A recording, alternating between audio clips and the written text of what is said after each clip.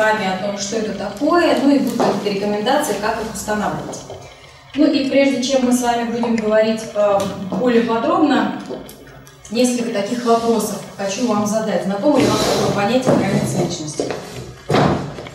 Или же, другими словами, личностные границы. Но не может быть, чтобы оно не было знакомо. Мы с вами Да, совсем недавно об этом говорили. Да, слава тебе, Господи, что вы помните, что это такое. Значит, знакомы с этим понятием. Кто-то, может быть, уже а, ходил на какие-то тренинги, у кого-то уже есть навыки а, установления границ, у кого-то с границами более не менее все хорошо, я надеюсь, уже, да, у кого-то изначально было неплохо. Ну, в любом случае, будем с вами об этом разговаривать. Разберемся, что такое границы. По сути, границы личности – это то, что отделяет э, каждого из нас от окружающих людей на биологическом, социальном, психологическом и духовном уровне. И если на, на физиологическом уровне понятно, ну, я понятно, да, каким образом один человек отделяется от другого, это, это очевидно, это понятно, то на всех остальных уровнях а, не совсем это понятно, это какая-то такая тонкая черта, которая проведена в нашем понимании, в нашем а, ощущении как отдельных личностей. И эти границы незримы. То есть в отличие от физических границ, которые мы можем потрогать, да, э, все остальные границы мы не можем их ощутить, и поэтому довольно трудно а, в понимании, да, как же их устанавливать. Об этом с вами будем говорить. Что же отделяет границы? Каждый человек – это отдельно взятая личность со своей физической и психологической территорией.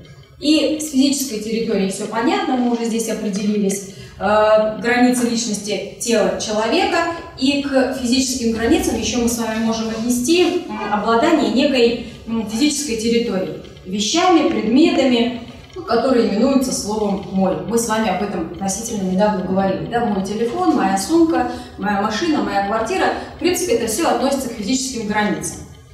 И здесь все определенно все понятно, на этом долго за, за, застревать с вами не будем, поговорим в большей степени о другом виде границ, с которыми как раз таки сложности возникают. Психологическая территория это сочетание нескольких факторов. Это система представлений человека о себе, о окружающем мире, о его ценностях, цели, установки, верования. В общем-то, это все то, что присуще каждому из нас. Причем у каждого из нас это разное. Так или нет? Все-таки, несмотря на то, что мы с вами, ну, даже живем там, в, одной, в одной стране, да, и говорим на одном языке, при этом, так или иначе, у нас у каждого свои ценности, да, свои установки, свои взгляды, свои понятия. Это все включено в понятие психологическая территория.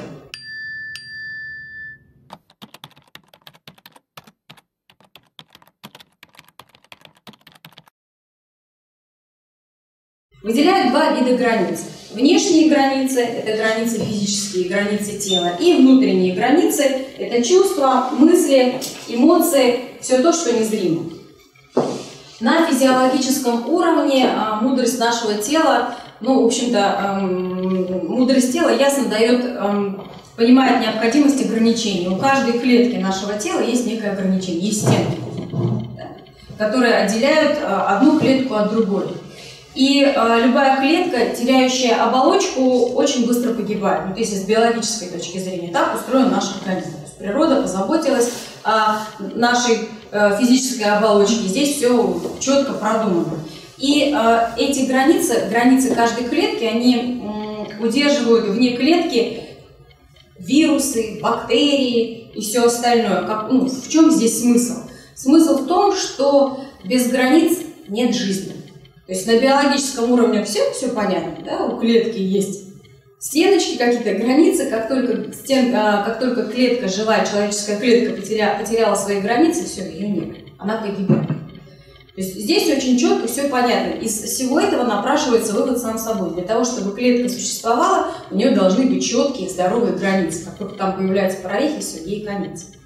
И э, в биологическом плане здесь тоже все мудро. Если посетитель вреден, если он опасен, клетка его вовнутрь не пускает. Ну да, за исключением, когда приключаются какие-то заболевания у человека. И опять-таки, заболевание человека, по сути, получается, это тоже нарушение границ физических, когда в наш организм попадают те или иные вирусы.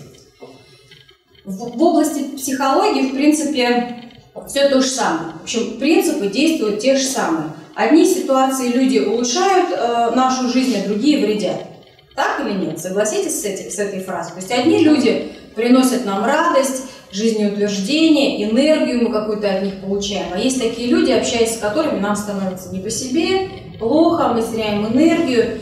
Вот. Э, важной задачей для поддержания психологического и духовного здоровья является как раз-таки умение понимать опасные для нас ситуации и видеть опасных людей. А главное умение для, самое главное умение для каждого человека – это э, установление барьера между опасностью и собой.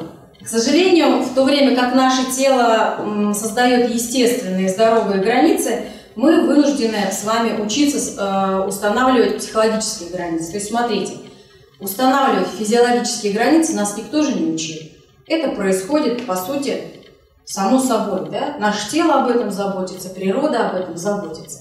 И то, если говорить о том, что все границы очень тесно между собой переплетены, и понятно, что э, те же самые физические границы очень тесно переплетены с психологическими границами, то и здесь нам требуются некие навыки для того, чтобы уметь выстраивать эти здоровые границы. Ну, к примеру, я уже оговорилась о том, что Э, к понятию физические границы относится владение некими вещами.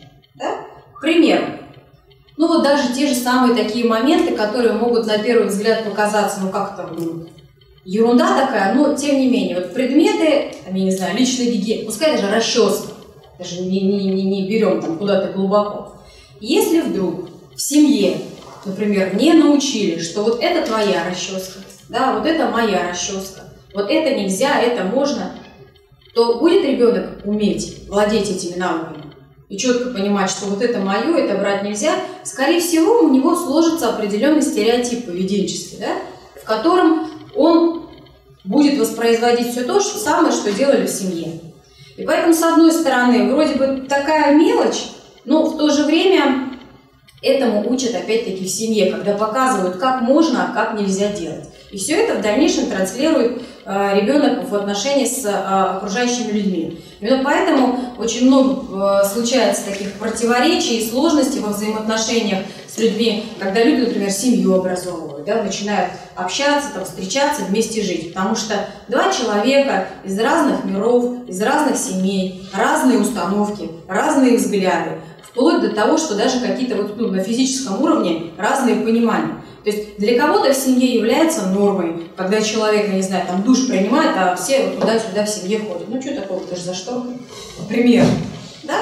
А для кого-то это является запретным моментом. То есть если кто-то зашел в ванную комнату да, или в туалетную комнату, то все, заходить туда нельзя.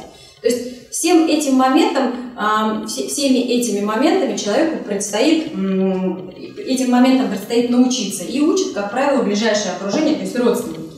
И сожалению, многие из нас, уже став взрослыми людьми, так и не научились навыкам постановки правильных границ. Не говоря уже о психологических, даже на физиологическом уровне. Далеко не каждый человек в состоянии отстоять свою территорию, даже физическую. То есть есть такие люди, которые говорят о том, что окружающие люди без конца нарушают их физические границы. Что будет нарушением физической границы? Ну, вот просто элементарно, да? Когда, не знаю, там, вас по мягкому месту хлопнули, хлопнули, нарушение физической границы, нарушение физической границы, не знаю, обняли, приобняли, еще что-то. Или вещи, вещи ваши без спросу берут, а вы ничего сделать не можете. Это про то, что даже такие границы я не умею удерживать, не говоря уже обо всех остальных. Как раз будем с вами более подробно говорить, что здесь можно сделать. Ну и нужно понимать, что границы нашей личности, они начинают формироваться в младенчестве. Сначала ребенок не ощущает себя отдельным от матери. И понятно, да, почему, поскольку мама носит ребенка в своем чреве, она ну, вообще неотделимая часть. И все эти э, моменты сепарации происходят очень постепенно. Но так или иначе, даже в момент рождения ребенок на физическом уровне, он становится отдельной единицей. Все, он уже не часть мамы, так? Так, это уже отдельная личность со своими желаниями, потребностями. Ну так или нет? Но уже же не происходит такого, да, что если младенец хочет есть, то мама тоже. Нет, мама это мама, ребенок это ребенок.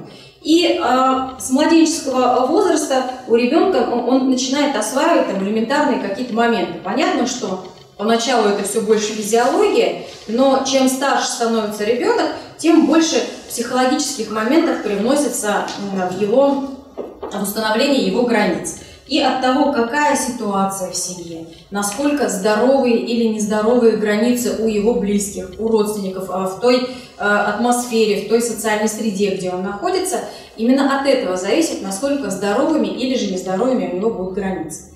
Безусловно, такой момент, как дисфункциональная семья, влияет на формирование здоровых границ. Здесь уже, вот, чтобы вы не сомневались, если семья дисфункциональна, здесь однозначно какие-то сложности, сложности с границами будут. Другой вопрос, что есть а, нарушения границ такие, есть нарушения более глобальные, есть менее. В любом случае все поправимо, да, хочется какую-то немножко оптимистическую нотку сразу внести для того, чтобы совсем мы с вами здесь не кисли.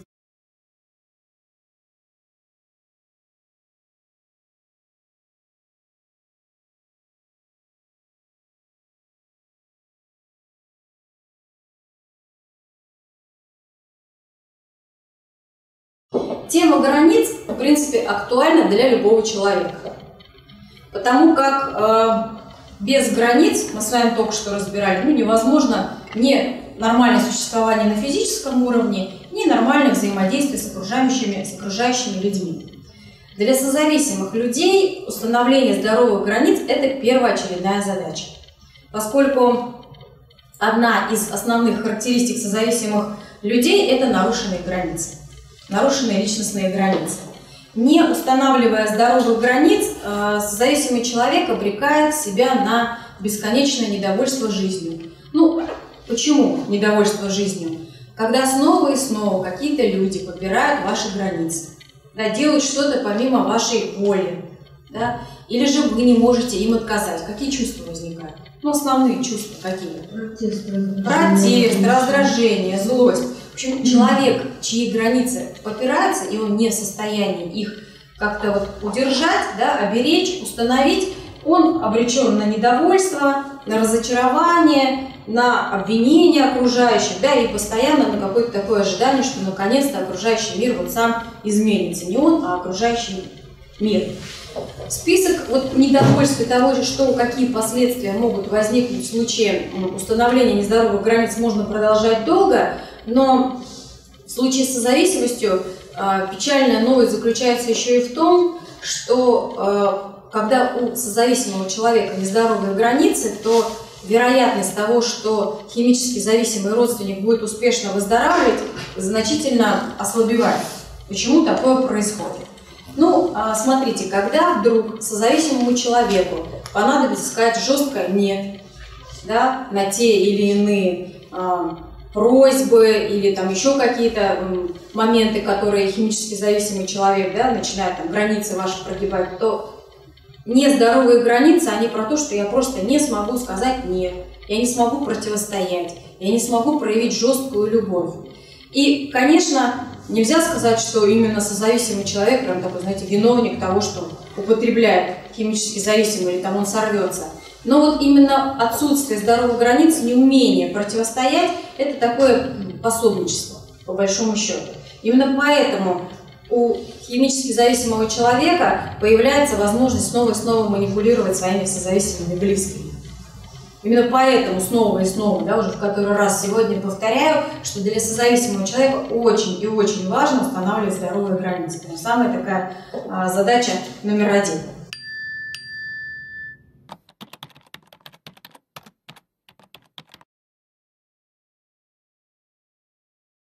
Что значит нездоровые границы? Хочется об этом поговорить. А, ну, я думаю, что каждый понимает, что границы, они, э, формирование границ начинается с младенческого возраста, и э, нездоровыми границы не становятся одномоментно. Прям раз, щелк и произошло. Но не бывает так, чтобы у человека были абсолютно здоровые, хорошие границы, устойчивые, он их умел удерживать, потом раз, что-то произошло, и они вдруг стали нездоровыми. Потому что очень многие созависимые, близкие родственники наркоманов думают, что, ну, в общем, у меня было все хорошо, не было никаких сложностей, именно потому что он начал употреблять или она начала употреблять, с моими границами стало что-то не так. Нет. Здесь процесс скорее по-другому протекает. Скорее, границы были уже нездоровыми, и когда вдруг в ваш дом пришла химическая зависимость, на фоне химической зависимости нездоровье этих границ, все те прорехи, они стали более видными, они стали более заметными. И э, повторюсь, да, формирование нездоровых границ не происходит одномоментно, это происходит постепенно. Безусловно, химическая зависимость наихудшим образом сказывается на всех членах семьи и нарушает всевозможные границы человека. Так или нет? Да. Были у вас сложности с границами? Было ли такое, что вас, ваш химически зависимый близкий на ваше эмоциональное состояние оказывал какое-то влияние? Или нет, у всех все ровно, все спокойные, да? релакс, нерванность. Дзена явно ни у кого не было. Да? Наверное, прежде всего, как раз-таки самый такой первый удар, который произошел, когда случилась химическая зависимость, по крайней мере, когда вы об этом узнали, это эмоциональное состояние. Для кого-то это было очень убийственным, может быть, это и было самым болезненным. У кого-то было попирательство границ даже на физическом уровне. Некоторые из ваших близких руку на вас поднимали. У кого-то было да, посягательство там, на имущество, кто-то из дома выносил, причем ваши вещи, машины угоняли, да? То есть очень много было неприятных моментов. И это как раз-таки опять все можно отнести к нарушению границ. И химическая зависимость, она ударяет по всем фронтам, у кого-то это происходит сильнее, у кого-то это происходит слабее, но в любом случае человеку с изначально нездоровыми границами приходится сложнее всего. То есть те люди, у кого более не менее такие относительно здоровые границы, они, как правило, на ситуацию употребления реагируют быстрее, оперативнее, быстрее обращаются за помощью, ну и меньше им приходится всяких вот этих сложностей, нюансов неприятных переносить. Те люди, у кого границы менее здоровые, очень долго, как правило, находятся в ситуациях, да, пока близкие употребляют, то есть вот долгий такой путь мы тебе поверим, а вот мы простили, а вот в последний раз, а вот давайте ему дадим еще один шанс, это скорее опять-таки про нездоровые границы. Это, это про то, как долго я готов прогибать свою территорию, верить, лапшу себе очередную вешать. Это все про границы на самом деле. Ну давайте теперь подробнее про, а, про каждый вид границ.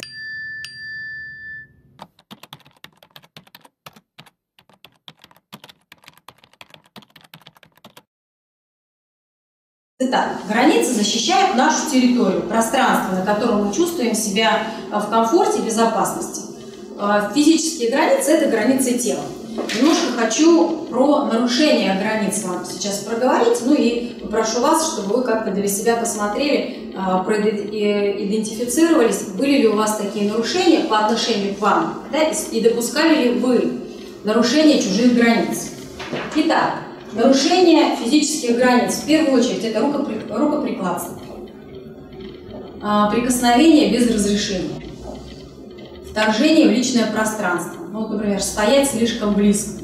Это тоже про нарушение границ. Хочу отметить такой момент, что химически зависимым людям, я понимаю, понимаете, надеюсь, да, в силу неадекватности состояния, да, особенно ну, когда человек в активном употреблении, то есть для него стоять вот так вот нос к носу, это вообще ну, нормально, не ощущает этих, э, нарушения этих границ.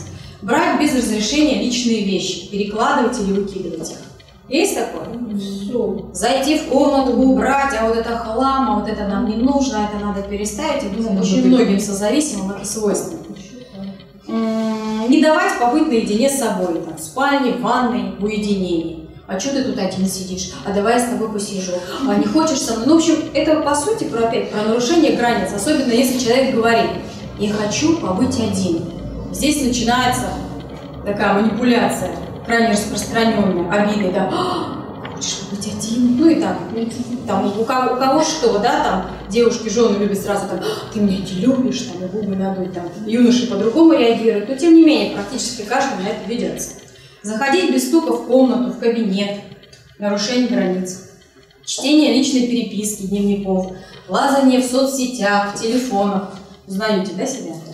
Подслушивать, подглядывать, заставлять выполнять работу, которую не хочет человек, заниматься теми видами спорта, которыми не хочет. Я думаю, очень многим а, родственникам, а, родителям свойственно да, такое, когда вот, ну, своего близкого заставлять чем-то заниматься. Ну, я же хочу, чтобы стал спортсменом там, или не знаю, пианистом, я не знаю, там, балеруном, поэтому он будет ходить туда и заниматься. Вот это все про нарушение границ. Ну и понятное дело, что а, одна из наиболее, одна из наиболее травматичных нарушений физической границы – сексуальное насилие. Признаки нарушенных границ. Можете опять-таки у себя посмотреть, насколько это вам присуще. Неспособность отказать в физическом контакте.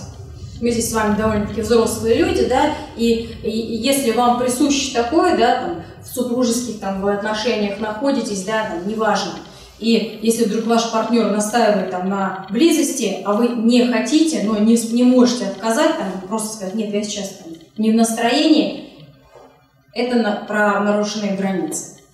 Позволить кому-либо стоять ну, очень близко к себе. То есть, опять-таки, никак этому не противостоять. Это признак нарушенных границ. Каждый имеет право обозначить свое пространство и сказать, что ну, не подходи ко мне так близко, мне неприятно, там, меня вызывает какие-то чувства.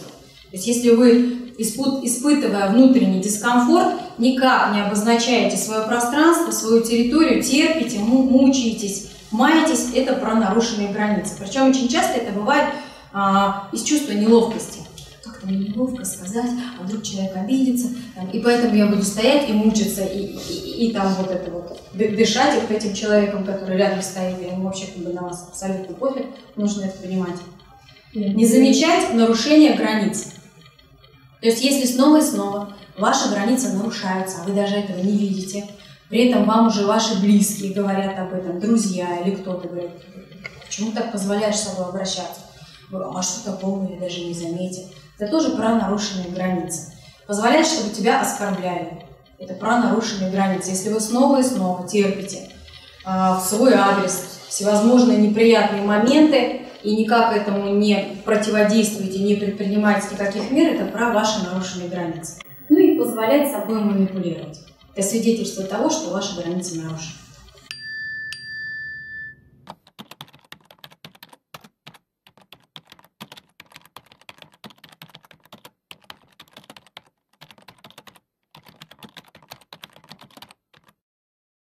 Внешние границы человека предполагают, что первое, никто не имеет права дотронуться до меня без моего позволения.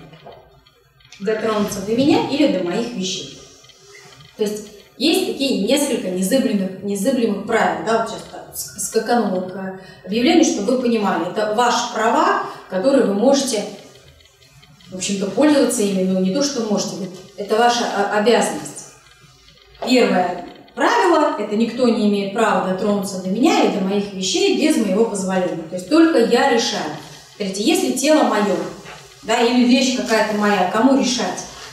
кто, когда, как будет ко мне подходить, дотрагиваться, брать, там еще что-то. Только я могу это решить, больше никто. Если я разрешаю до себя дотрагиваться, то только так, как мне это нравится. Да, если мы сейчас говорим непосредственно о, о своем теле. Только я решаю, как мне нравится. Используйте это правило во взаимоотношениях с другими людьми.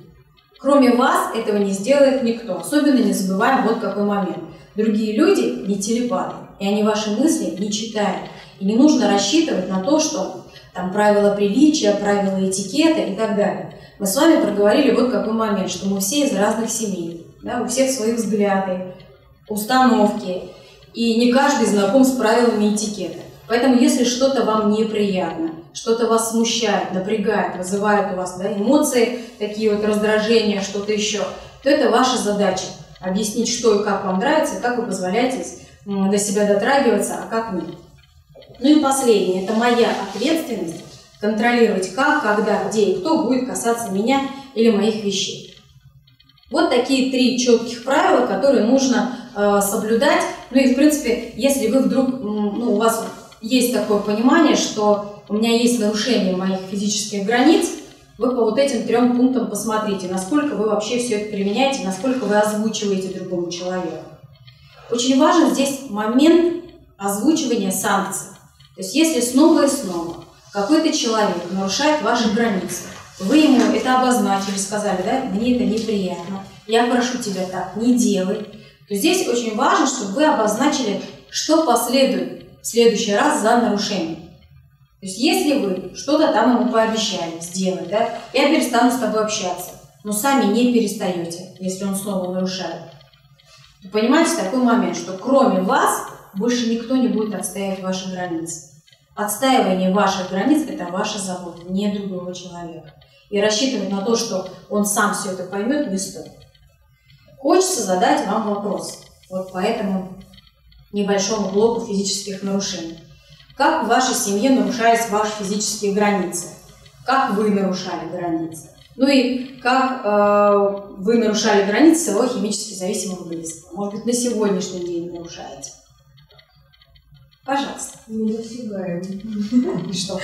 Ваш близкий, ну это сейчас он в центре находится, да? До того, как он в реабилитационный центр попал. Вопрос-то первый был, какой? Нарушались ли в семье ваши физические да. границы? Вообще нарушались? Да. Каким образом? Вторжение в личное пространство. Вторжение в личное пространство бесцеремонного уборка территории, исследования тумбочек, ящиков. Убирали вашу комнату без вашего спроса, вообще какие-то вещи. А, вы. Это вы таким образом. С вами в детстве такое происходило? Ваши близкие так себя вели по отношению к вам? Ну, большая семья, один секретарь на всех ученический. То есть было очень... Отсутствие пространства, по сути, это тоже тот фактор, который формирует нездоровые границы. Мы сейчас с вами будем об этом говорить, почему вообще так происходит. То есть я сейчас ни в коем случае не хочу сказать, что вы есть такие вот там глупыши собрались, вот элементарных вещей не знаете. Понятно, не в этом дело. Понятно, что по разным причинам. Естественно, у кого-то были определенные бытовые там, условия проживания, да, которые, ну просто, знаете, если там в одной комнате живет 6 человек, очень сложно уединиться. Одно приватное место, не буду озвучивать его вслух, которое и то, туда вечно очередь. Очень сложно уединиться. И, конечно же, это вызывает определенные моменты, да, которые в будущем человек, э, ну, они привнесут лепту, лепту в формирование нездоровых границ. Угу на сегодняшний день, вот те близкие, ваши близкие, которые вышли уже домой, нарушаете ли вы их границы сегодня? Не нарушаете. Кто-то нарушает, кто-то не вышли. Ну, у вас не вышли, а у кого-то вышли. Девочки нарушают. По умолчанию и улыбкам сразу вижу, что нарушают. Но признаваться не хотят. Хорошо. Как думаете, если продолжите в таком же духе, что из этого получится? Я про нарушителей. К отправной точке вернемся, с чего начали? Смотрите, могу ли я рассчитывать на уважение со стороны другого человека, на соблюдение им моих границ, если я сам его границы нарушаю? Как думаете? Безусловно. Нет. Поэтому, если вы хотите, чтобы ваши собственные границы нарушали, э, не нарушались, то вам придется соблюдать его. Я прекрасно понимаю, что некоторые из вас да, могут сказать, что я не против, пусть нарушает мои границы, да пусть читает мою переписку, да пусть то, пусть все. Это лишь признак ваших нездоровых границ, которые могут послужить определенным таким, знаете, буфером к переходу в зависимость снова. То есть если вы все-таки хотите а, создавать здоровые взаимоотношения, формировать да, новые взаимодействие и не сторону болезни поддерживать, а переходить к здоровью, то здесь придется и свои собственные здоровые границы выстраивать. Более того, хочу сказать а, нашим юным, так сказать, участникам, да, поскольку у вас впереди, в общем-то, большая долгая жизнь, и семья, и это дети, здесь есть еще вот какой момент. Все те моменты нездоровых границ личностных, вот все, что есть на сегодняшний день, что у вас, что у ваших ребят – если здесь ничего сейчас не поправить, это все перейдет к детям. А соответственно, вероятность того, что и у детей со временем да, будут некие сложности во взаимоотношениях, она тоже становится значительно больше. Но это я к моменту мотивирую вас границы здоровой своей выстраивать.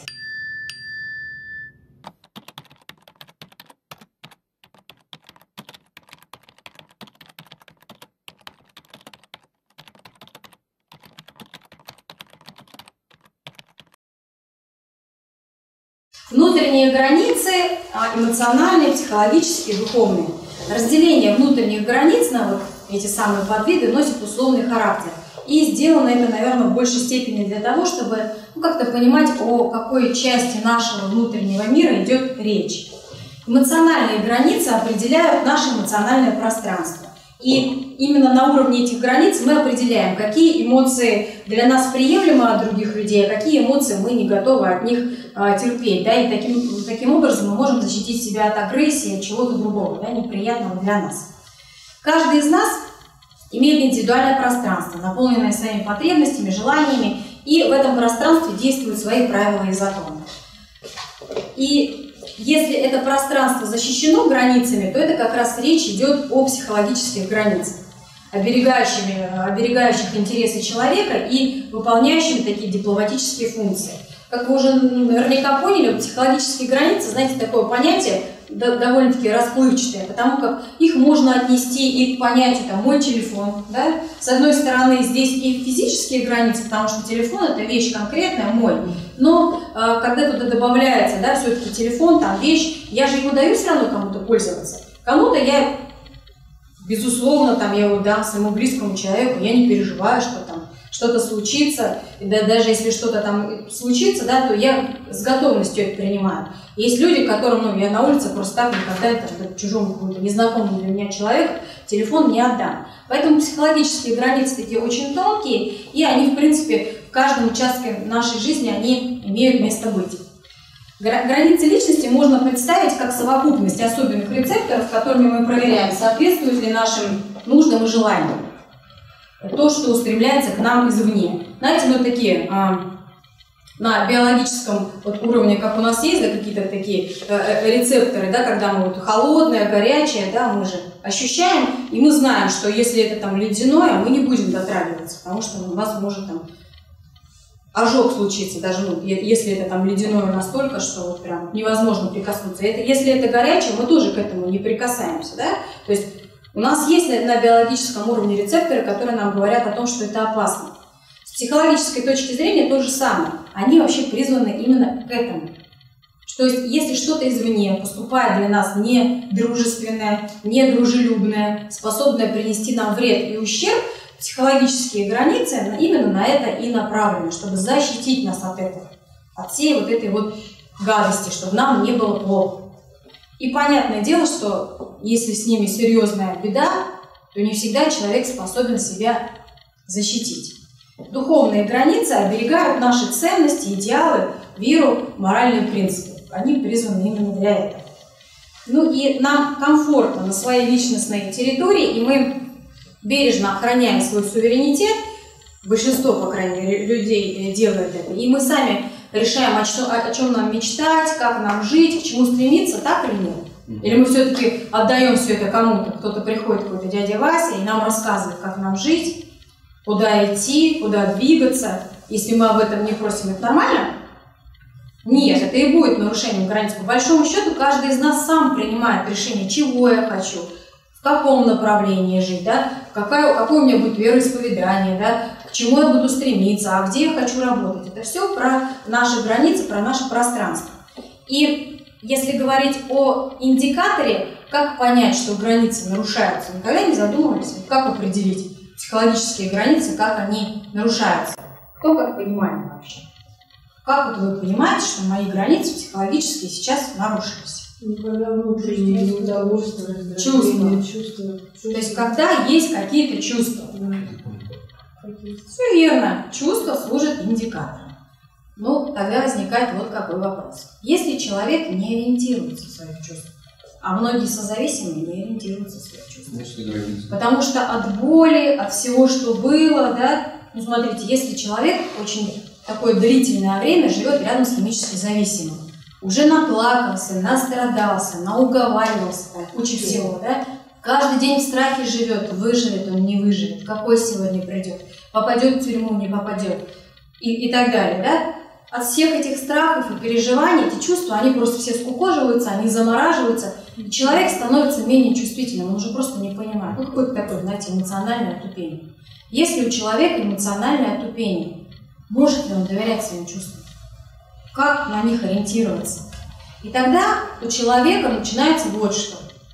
Он уже не способен оценить а, нарушения границ, какие-то такие, знаете, вот, ну, более мелкие, и он уже только вот прям очень какие-то серьезные границы может увидеть. Все остальное на уровне чувств он делает с трудом, потому что с чувствами беда. Отсюда вывод. Перво-наперво человеку, который хочет работать со своими границами, устанавливать здоровые границы, нужно работать со своими чувствами, учиться их понимать. Да? Для этого можно использовать дневник чувств, для этого посещать терапевтические группы, городские группы, многие другие есть способы, но это один из моментов, который поможет вам прийти к пониманию той грани, где есть здоровье, а где нет.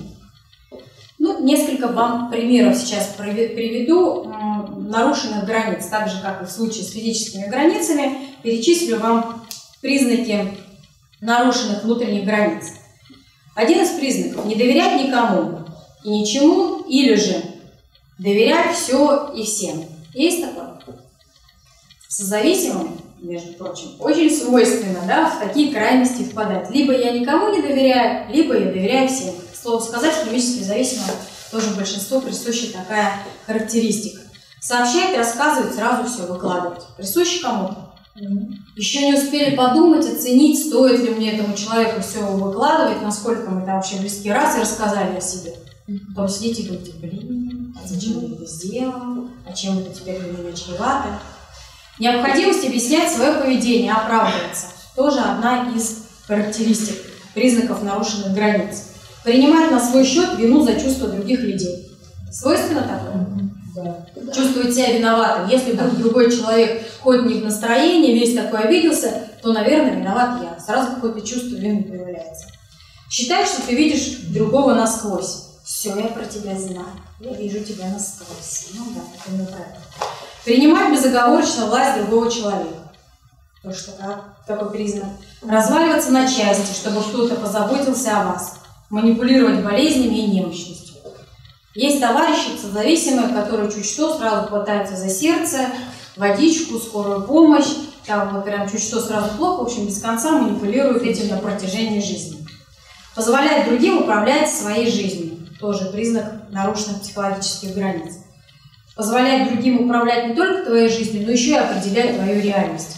То есть если вы живете в какой-то такой ситуации, где ваши близкие люди без конца за вас определяют и говорят вам вот так и так, и только и вот все, никак по-другому, и у вас нет никакого выбора, это тоже признак нарушения границ. Ожидать, что другие будут предвосхищать или удовлетворять ваши желания. Допускать неуважительное отношение к себе. Заниматься делами и проблемами других, а не своими. Причем на дела и проблемы других, на помощь другим уходит колоссальное время, а на себя его не, останов... не остается. Опасаться показать свое истинное «я». Стараться быть таким, каким меня хотят видеть, а не таким, какой я на самом деле. Не просить о помощи, даже если очень нуждаешься. Все сидишь и ждешь, когда же мне кто-нибудь сам там догадается и поможет не уметь определять свои истинные желания, не давать отпор другим людям, которые могут пользоваться вашими вещами, деньгами, в общем, вашими ресурсами. И перечислю сейчас нарушение внутренних границ другого человека.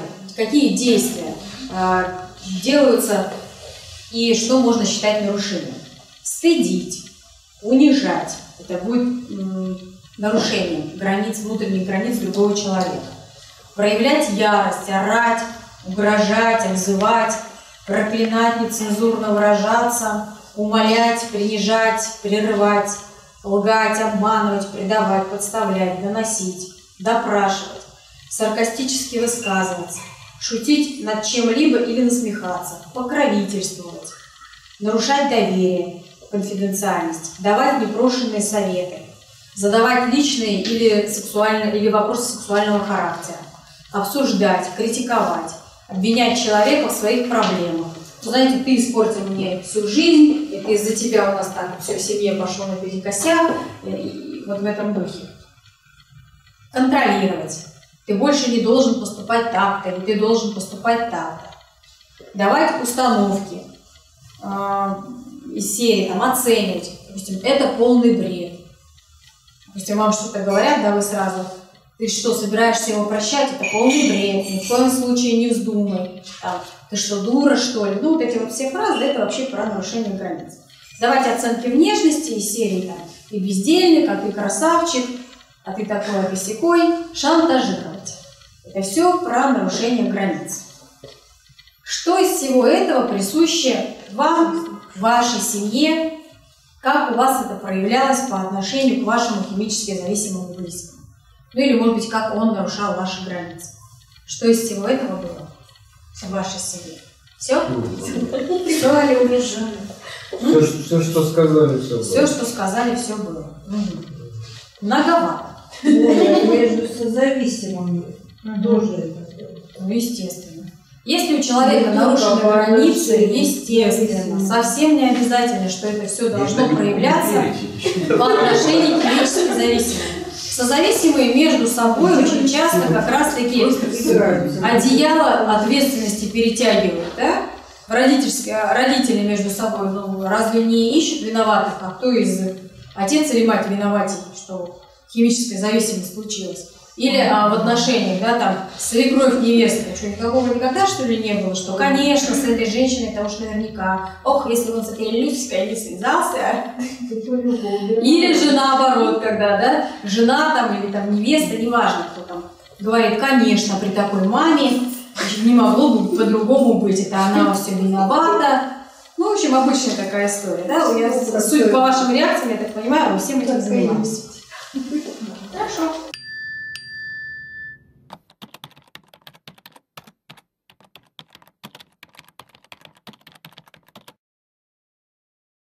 Выделяют несколько типов личностных границ. Один из типов, а, можно его так назвать, а, в разной литературе по-разному, в общем, называют эти границы открытые или мягкие. Про что здесь? Чем характеризуются люди, у кого открытые или мягкие границы? Это люди, которые не умеют противостоять натиску внешнего мира. Что агрессии, там, что не агрессии, в общем, не умеют противостоять. Не желая того, они впитывают чужие идеи, мысли, не могут отстоять собственные убеждения, которые у них имеются, постоянно сомневаются в правильности своих решений. Это люди, которые не могут сказать «нет».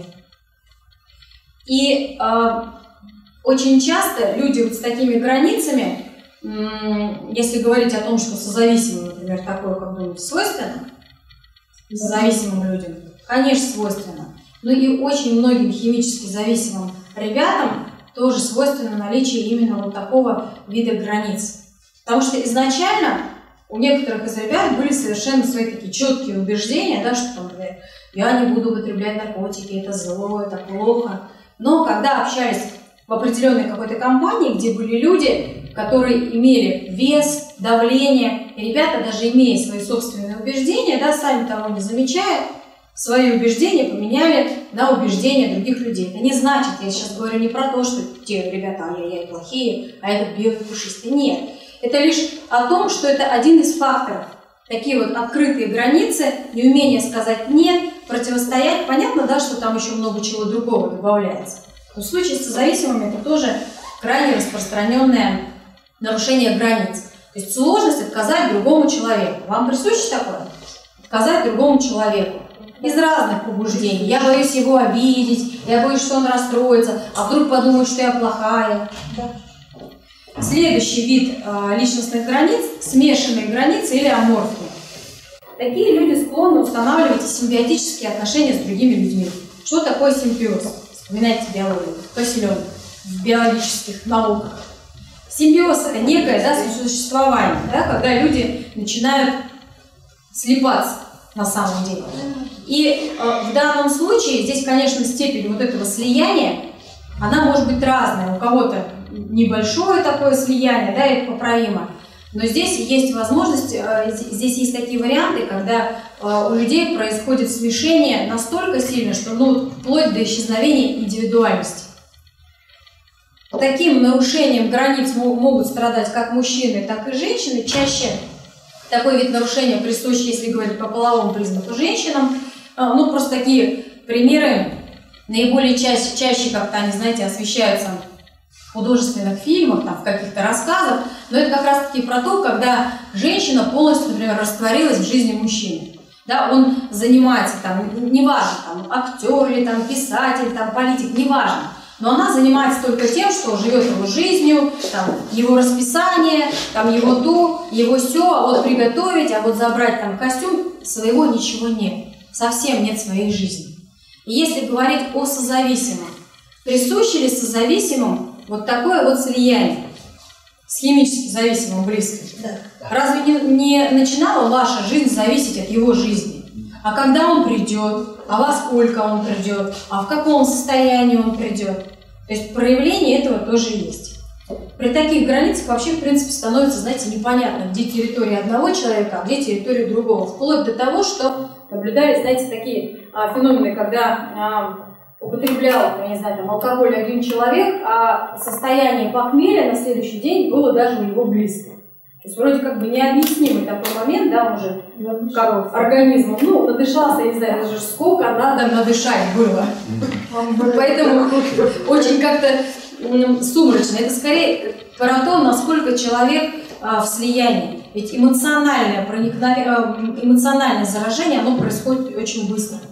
Знакомы с таким термином, как эмоциональное заражение, когда человек проникается очень быстро эмоциями другого человека? Ну вот присуще вам такое, что вы сидите в таком великолепном настроении, у вас прям благодать, солнце светит, бабочки в животе, радость в душе, там ручейки журчат, все это у вас вот так вот эмоционально. И тут кто-нибудь приходит и вам что-нибудь м-м-м такое рассказывает, что-нибудь такое, и все, и вас чух, как будто у вас и не было вот этого хорошего настроения. И вы уже вот сидите, вот уже восьмой платок носовой меняете, потому как вам настолько плохо. Это как раз про это. Насколько быстро да, я свою территорию, про открытые границы, ну и про симбиоз тоже, заражение чувствами другого человека. Следующий вид границ – закрытые или жесткие границы, еще по-другому их называют. Что здесь происходит с человеком, у которого э, жесткие или закрытые границы? Он, в принципе, знаете, такой одинаково во всех ситуациях остается каким-то таким одинаково закрытым. С одной стороны, это хорошо, потому как получается, что такой человек, он более устойчив. Ну, смотрите, если закрытая система, он более устойчив там, каким-то эмоциям, каким-то там словам, воздействиям. С одной стороны, да. С другой стороны, эти границы плохие тем, что такой человек не умеет лавировать в различных жизненных ситуациях. Он очень такой ригидный, ему трудно переключаться. Плюс, а, человек с закрытыми границами, до него очень трудно достучаться. Как к нему туда ничего не донесешь, не привнесешь, не только плохое, но и хорошее, понимаете, туда тоже не попадет. Так и от него ничегошеньки не дождешься. Поэтому это тоже такой вид границ, который нельзя сказать, что он здоровый и хороший. Ну и я думаю, вы понимаете, что если система закрытая, если, например, человек очень закрытый, ничего извне к нему не попадает, как такая система будет развиваться? Она способна развиваться? Закрытая система, к сожалению, она обречена на провал, она обречена на гибель. А жизнь ведь это бесконечное развитие. И здесь все-таки требуется какое-то, знаете, пространство, когда мы что-то новое в себя допускаем. Ну вот даже сейчас, в данный момент, да, исходя из того, что вы здесь находитесь, как минимум у вас не закрытые границы, вы готовы что-то слушать. Другой вопрос, примете вы этого внимания или нет, начнете вы что-то в своей жизни менять или нет, но вы сейчас слушаете. Если готовы в себя что-то новое допускать, да, а это один из принципов, кстати, программы, да, честность, готовность, непредубежденность, готовность к действиям, готовность к изменениям. Поэтому человек с закрытыми границами, он, к сожалению, к изменениям не готов. Ну и последний вид границ, называется это гибкие границы, и это, пожалуй, такой единственный вид здоровых границ, гибкие или полу- полупроницаемые границы, другими словами. И эти границы могут меняться в зависимости от ситуации. Это и есть те самые здоровые границы, к, которому, э, к которым каждому из нас нужно стремиться. Потому что это те границы, которые будут нам позволять, ну, знаете, как вот э, такой вот кокон, да, когда мне не надо, я поворачиваюсь, избушка задом, да, до свидания, ничего не надо. Когда мне надо, я поворачиваюсь, заходите, люди добрые. В общем, будем общаться, взаимодействовать, будем получать новую информацию. Первые два вида границ, безусловно, это границы такие слабые, и это те границы, которые чаще всего продавить. И те границы, которые в большинстве своем присущи созависимым людям. Ну, поскольку все-таки наш материал рассчитан в большей степени да, на созависимых людей, чем слабее у человека границы, э, тем чаще он нападает на границы других людей. Парадоксально вроде, да, как-то у него и так слабые границы, как это, он нападает на других. Но суть здесь вот в чем. В том, что у него нет своих четких границ, нет этого понимания, а соответственно он и не видит границы других людей. Причем он а, часто делает это не по злобе. И, и это действительно, поэтому очень ну, как-то сложно обвинить этого человека, потому что там он негодяй. Он делает это не по злобе, делает по незнанию, не осознает частенько, что нарушает границы других людей и часто выходит из зоны своей компетенции. Поэтому созависимые часто нарушают границы других людей, но делают это с лучшими намерениями, из лучших побуждений, конечно же, чтобы помочь, причинить, так сказать, добро. У многих близких и родственников химически зависимого человека границы, к сожалению, хромают, у многих вот прям очень сильно хромают. И многие, близ, э, многие созависимые ощущают себя, знаете, со своим химически зависимым близким единым целым. Те из вас, кто являются постоянными посетителями наших терапевтических групп, потому что на лекциях это как-то очень сложно да, оценить, но кто ходит на городские группы, на терапевтические, на мультисемейные группы а, в, по субботам, да, в центр, вы можете видеть тех родителей, а может быть кто-то из вас является именно таким родителем или такой там а, второй половинкой, да, так скажем, которые говорят, что это моя жизнь, мы с ним единое целое, я чувствую его, я без него не дышу, не живу. Такие люди у нас сидят на группах, и именно так они и говорят. Ну, по крайней мере, я сталкиваюсь с этим частенько, может быть, некоторые из вас уже даже поняли, да, кто про кого, может быть, кто-то уже себя узнал, но это как раз-таки про вот это вот полное растворение. Про то, что я живу жизнью другого человека. Как вы думаете, если я живу жизнью другого человека, да, даже если вот он сейчас не употребляет, начинает выздоравливать, а я же жизнью его живу, и изначально все только из благих намерений, лишь бы он был счастлив, но я живу его жизнью. Мне при этом как-то хочется этим процессом управлять. Ну, допустим, я мать, да? А матери же лучше, все-таки жизнь прожила, у меня опыт больше, я же знаю, как лучше, всякое такое. Я начну рулить жизнью этого человека. Причем я же это буду делать из большой и сильной любви, как мне кажется, да, из лучших побуждений, но к чему это может привести? К чему может привести, если я начну рулить жизнью своего, пусть даже выздоравливающего близкого? Я куда его нарулю? Ну, скорее всего, ну, не факт, да, что он сразу сорвется, но ничего хорошего из этого не выйдет. Если он действительно будет выздоравливать, и ему хватит сил от вас оторваться, то он вам скажет адьос, и будет с вами все реже и реже и реже общаться. Вам будет еще больнее, вам будет еще печальнее от этого, если вы со своими границами ничего не сделаете. Вы будете вызывать к нему, да, как так, где же твое выздоровление, не выздоравливаешь ты, будете на него насыпать, ему будет еще тяжелее.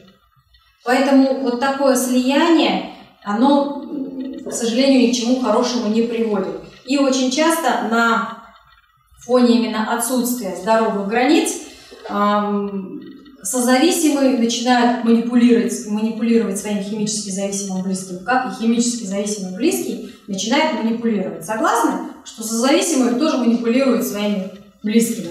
Или чувствуете себя только прям несчастной жертвой, которая все время манипулирует? Никогда не манипулировали своим близким? Никто не хватался за сердце, никто не говорил, я уйду от тебя, разведусь, никто не говорил, я тебе не дам денег, не дам тебе машину, там, или еще что-то. Это все про, про манипуляции. Или никто не говорил, что да какой же ты сын, там, не гордость ты нам, там, и, и так далее. Это все про манипуляции. Манипуляция, по сути, это передвижение, знаете, границ партнера туда-сюда, как мне удобно. То есть, если мы находимся в слиянии, да, мне пространства стало мало, я хочу как-то вот жить по-своему, значит, я начинаю двигать границы своего партнера, да, неважно, кто это, там, муж, сын, брат, сват, если находимся в слиянии с человеком. Нужно понимать вот какой момент, что границы личности человека, они не являются, а, знаете, какими-то такими навсегда вот один раз выстроили, и все, и навсегда это сооружение установлено. То есть, если вот на сегодняшний день у меня есть граница, и пусть она даже хорошая, здоровая считается, да, адекватная, это не значит, что она всегда должна оставаться такой. Границы – это не железобетонные какие-то такие изваяния. Мы с вами только что проговорили, да, что здоровые границы – это полупроницаемые, и они должны быть гибкими. Меняется жизнь, меняюсь я, меняются обстоятельства. вместе с этим меняются и границы. И ваша граница, ваша основная задача какая, как созависимых? Если вы хотите помочь прежде всего себе, стать здоровее, да, и улучшить качество своей жизни, ну и помочь своему зависимому близкому, то это удерживать здоровые границы. Поначалу, да, например, ваш близкий выходит в амбулаторный период, ваши границы более жесткие. Вы чаще говорите в каких-то ситуациях «нет», чаще дистанцируетесь. То вы видите, что человек ведет себя адекватно, соблюдает правила, все делает, все предписания программы выполняет. Вы где-то немножечко уже меняете. В этом и заключается смысл здоровых границ. И установление вообще здоровых границ, ну вот даже не, не обязательно, вот сейчас речь только о взаимоотношениях с вашим близким. Вообще, в принципе, вот как происходит э, взаимодействие с другим человеком? Вы приходите и с кем-то знакомитесь. Ну, как обычно это происходит? Вы приходите, да, и ну, там, на «вы», может быть. Да? У вас складывается какое-то взаимодействие, общение, и нормальным считается, что сначала на «вы», да, потом я спрашиваю, ничего, если мы на «ты» перейдем? Человек говорит, да. Если не хочет, говорит, нет, я все-таки предпочитаю оставаться вот в этих границах. И вот все эти переходы, взаимодействия, они как раз-таки нормальные, они как раз-таки про гибкость. То, что ваши личностные границы атакуются или определяются, мы с вами проговорили, да, вы всегда можете это определить на уровне чувств, но при условии, что ваши чувства здоровые, что вы умеете их понимать. Поэтому занимаемся этим. Здоровые границы могут исходить из любви к себе. А, причем не только любовь к себе. Э, а любовь к себе, она соединяется с достоинством, с, с признанием своей целостности, с признанием своих ценностей, с уважением себя самого. К сожалению, я не могу сказать это только о созависимых, да, у большинства, в принципе, людей границы все-таки не являются, знаете, такими абсолютно здоровыми. Ну, если посмотреть на наш мир и вообще ну, на, на, на менталитет, скажем, да, там, в нашей стране, на взаимодействие с людьми, то какие-то очень многие такие моменты, они изначально, может быть, знаете, где-то такие нездоровые были, где вот ущемлялись права другого, одного человека, и там в приоритете были права другого человека. Это все-таки не про нездоровые границы. И если говорить о том, почему у большинства границы нездоровые, то нельзя это все сводить только к тому, что у меня химически зависимая. Так? Нельзя. Точно так же нельзя и сказать, что а, во всем этом виновата только семья. То есть у кого-то из вас вполне вероятно в семье были э, близкие родственники, там, родители с вполне адекватными границами, потому что ну, идеальных людей же не бывает. Так в чем здесь может быть подвох? Почему нездоровые границы формируются?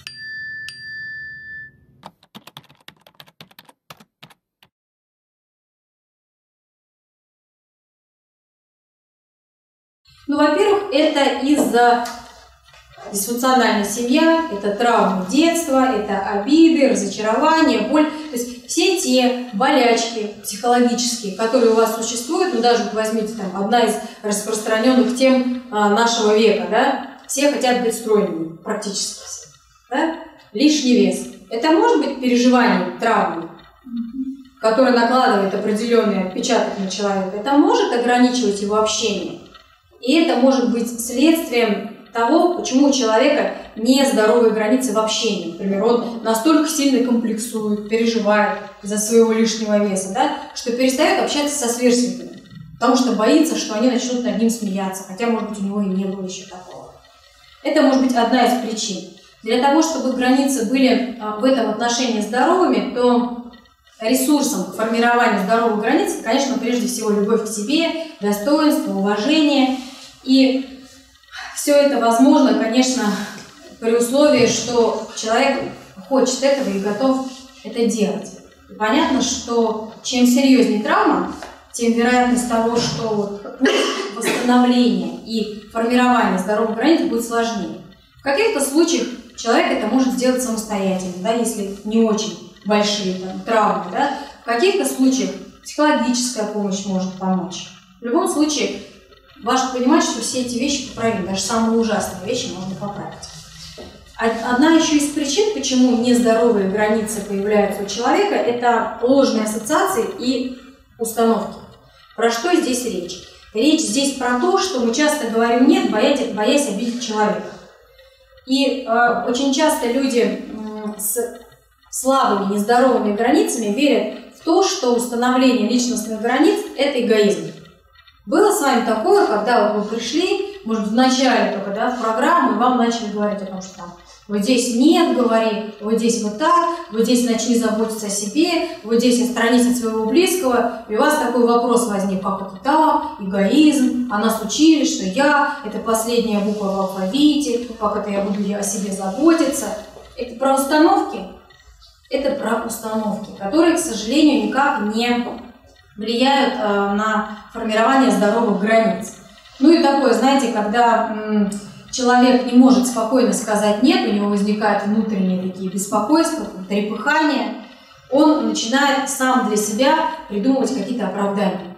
Ну, почему я не могу отказать, да, для того, чтобы внутри, знаете, ну, не признаться, честно сказать, что у меня слабые границы, я угодник, я не готов с этим сейчас работать, он начинает искать себе такие оправдания. Ну, например, оправдание, да, я не могу, я неважно себя чувствую. То есть вместо того, чтобы открыто сказать человеку, что нет, я не хочу с тобой идти в кино, к примеру, да, ты знаешь, я сегодня не могу, я себя очень плохо чувствую. Пользовались таким вариантом? Когда кто-то у вас что-то просит, не обязательно там про приглашение в кино, неважно. Подруга попросила вас с ребенком посидеть. И вы понимаете, что, блин, бедненькая, ей надо сходить в магазин, а больше некому посидеть. Там, и вы вроде все понимаете, кто-то согласился уже сразу, побежал, да? А кому-то сказать нет очень тяжело, и тогда вы говорите, ты знаешь, я с удовольствием, но я не могу, я так себя плохо чувствую. Никогда не доводилось вместо нет придумывать какие-то оправдания.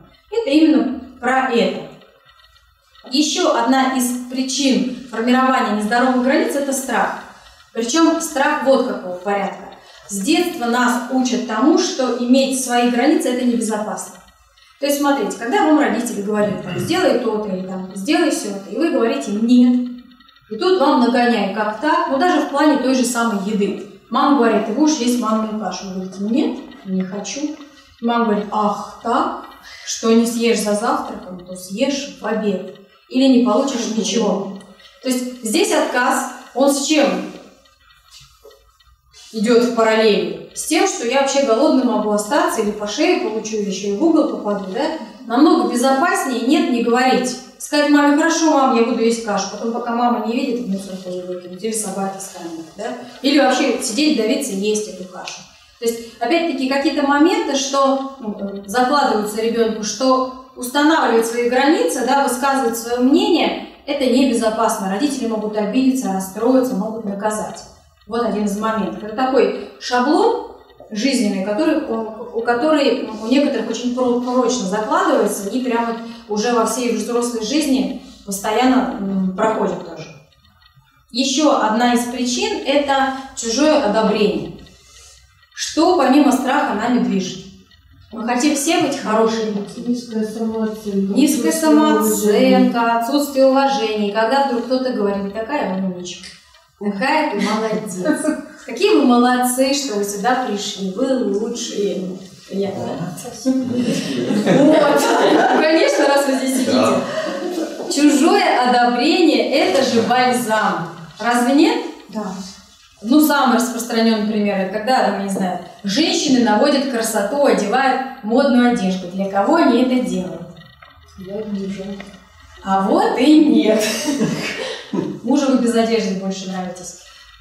Для других женщин чаще всего, чтобы сказать, блин, она такая клевая, у нее такая прикольная одежда, и вообще она такая, ну, получили одобрение, взгляд там или еще что-то. Очень часто какие-то моменты, то, что нами движет, они именно из того, чтобы получить одобрение. И именно поэтому очень сложно сказать «нет», отказать, удержать свои границы, особенно если человек ловко пользуется этим и вот как-то там постоянно нам подсыпает, что вот мы молодцы, что мы хорошие. Свойственно это созависимо? Делать много того, чего не хочется, но получать одобрение, говорить, что ты, ты, ты, ты молодец, самый лучший, ты уважаемый, правильный, почетный. Очень не хочется идти на какой-нибудь там субботник, из последних сил выбился, весь такой, спать не хочется, но пошел туда, потому что что же люди скажут, как же ты пришел, тебе говорят, ты молодец, ты ответственный гражданин. Получили свою пилюлю, получили свою похвалу, поглаживание, да? И это то закрепление, которое тоже мешает установлению здоровых границ. Что происходит на фоне вот таких вот эм, постоянных эм, поощрений? Причем смотрите, что здесь происходит. У нас какой-то часто вот очень происходит такая вещь, когда мы, знаете, как бы привыкли предавать самих себя, чтобы заслужить уважение других людей. Причем для того, чтобы вот эту похвалу получить, вот это вот поглаживание, да, мы идем наперекор своим порой там желаниям, своим принципам, да, ну, грубо говоря, предаем себя. То есть сначала мы самостоятельно предали себя. Злость появляется, раздражение, но чувства есть, я могу их даже не осознать. В себе их нести неприятно. И тогда я начинаю их на кого-то проецировать. И за собственное же решение, да, что я пошла на этот треклятый субботник, я начинаю кого виноватить? Всех вокруг, хотя решение было моим собственным. Ну и вот на фоне таких безобидных посягательств и предательств на самого себя, посягательств, предательств самого себя, то очень часто мы, превращаясь в удобного, хорошего человека, начинаем внутри постоянно испытывать злость и негодование, и сами не понимаем почему. А это именно из-за этого происходит.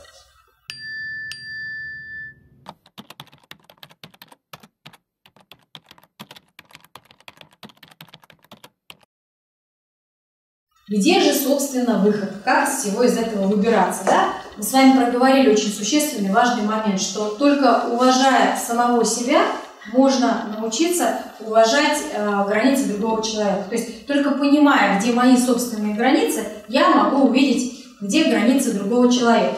Кстати, вспомнил, есть такой интересный тренинг, э, когда э, дается листочек, ну там разные есть вариации этого тренинга, в центре ребята это делают, может быть, и здесь на вас проводили такое мероприятие, когда дается листочек, нам на двух или на трех человек, и дается задание. Нужно какую-то картинку нарисовать.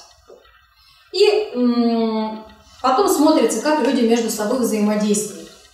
И очень часто наблюдается вот какой момент, когда это вот проводится здесь на созависимых, то большинство созависимых, я сейчас говорю, ну, все-таки за большинство, да, склонны как-то вот там деликатничать, там, нет вы, а нет вы, только после вас, ну вот это вот, там кусочек себе какой-то маленький отгородите, ну ладно, я себе чуть-чуть возьму, а это все вам, особенность такая проявляется.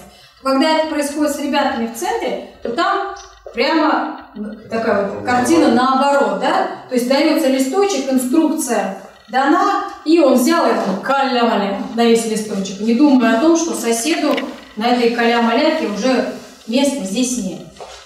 Много таких есть вариантов, да, и, как правило, это все анализируется, или же, знаете, дается такой там групповой рисунок, где каждый должен сделать свое творчество какое-то, да, привнести свою лепту.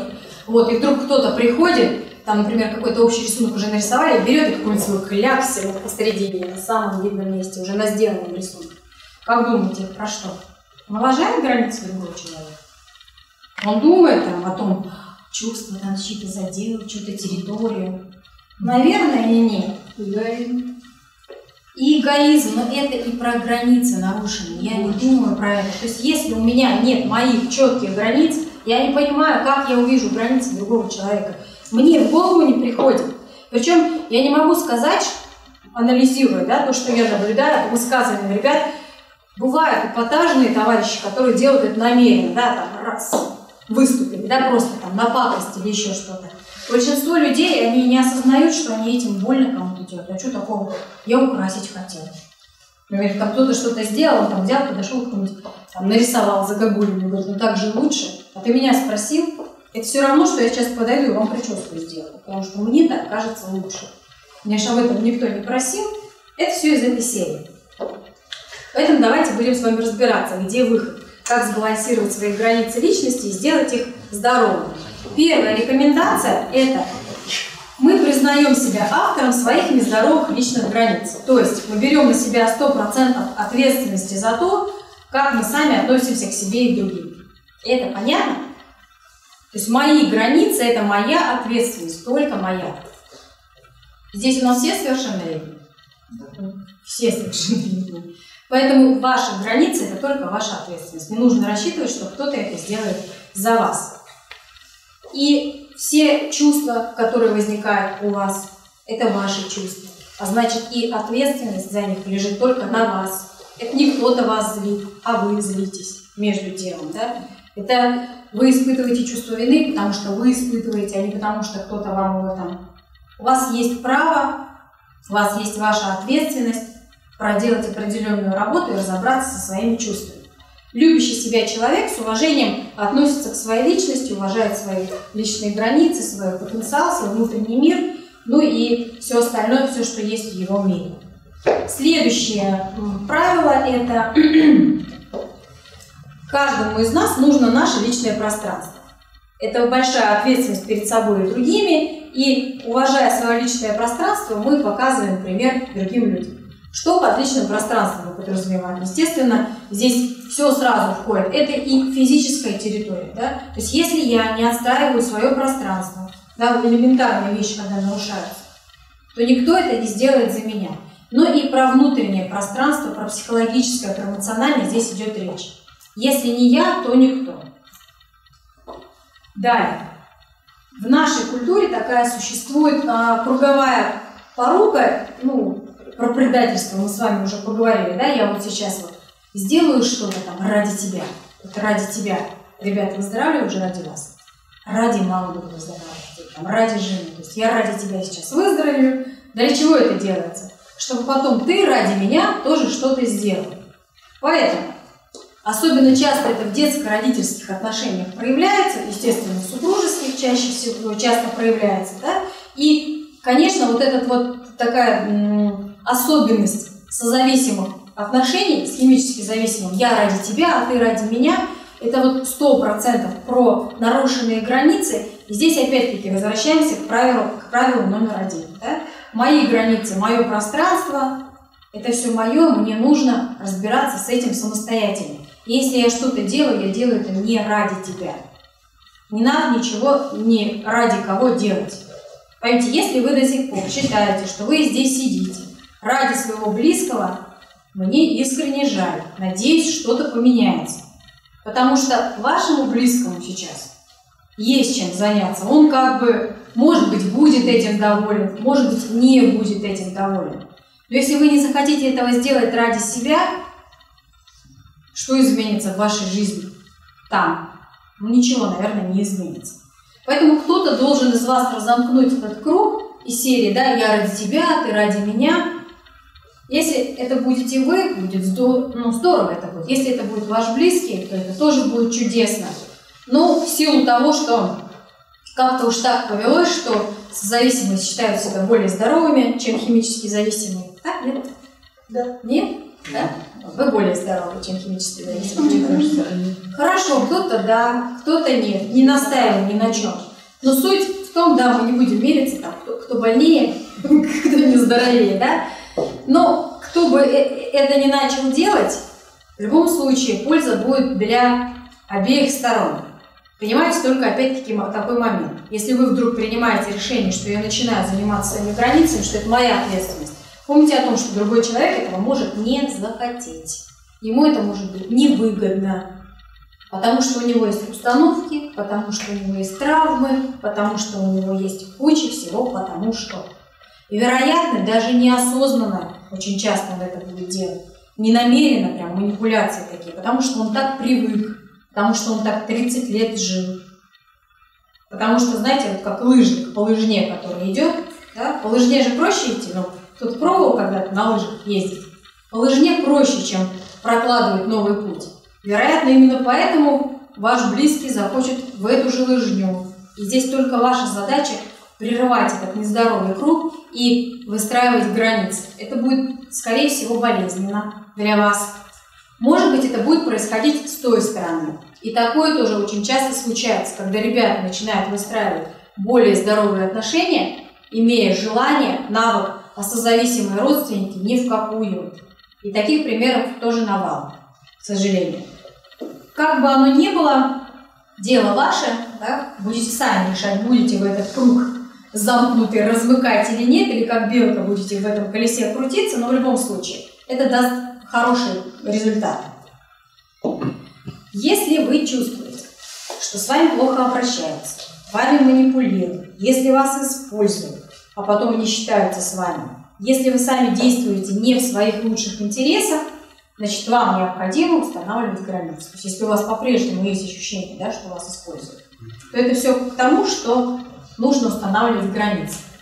Устанавливать границы – это значит, я знаю предел, до которого могу дойти. То есть, во взаимоотношениях со своим близким. Вам нужно всегда понимать, где тот предел, где я вот уже все. В эмоциональном ли это плане, в психологическом, да, в физическом ли. Вам нужно понимать, где тот предел. Не может ваш близкий этого знать, понимаете? Не может, он не чувствует вас. Он не чувствует, как вы. Только вы должны это знать, только вы можете это озвучить. Я знаю, что я могу сделать для тебя, что не могу. Опять-таки, во взаимодействии со своим близким только я знаю что я буду делать, что я не буду делать. И только я должен это озвучивать. И я знаю, что могу, а что не могу стерпеть от тебя. Опять-таки, где этот предел да, того, что я готов от тебя стерпеть. Только вы это можете знать, никак ни другой человек, никто вам не может посоветовать, как лучше. Это только ваши сугубо мысли, ощущения, желания.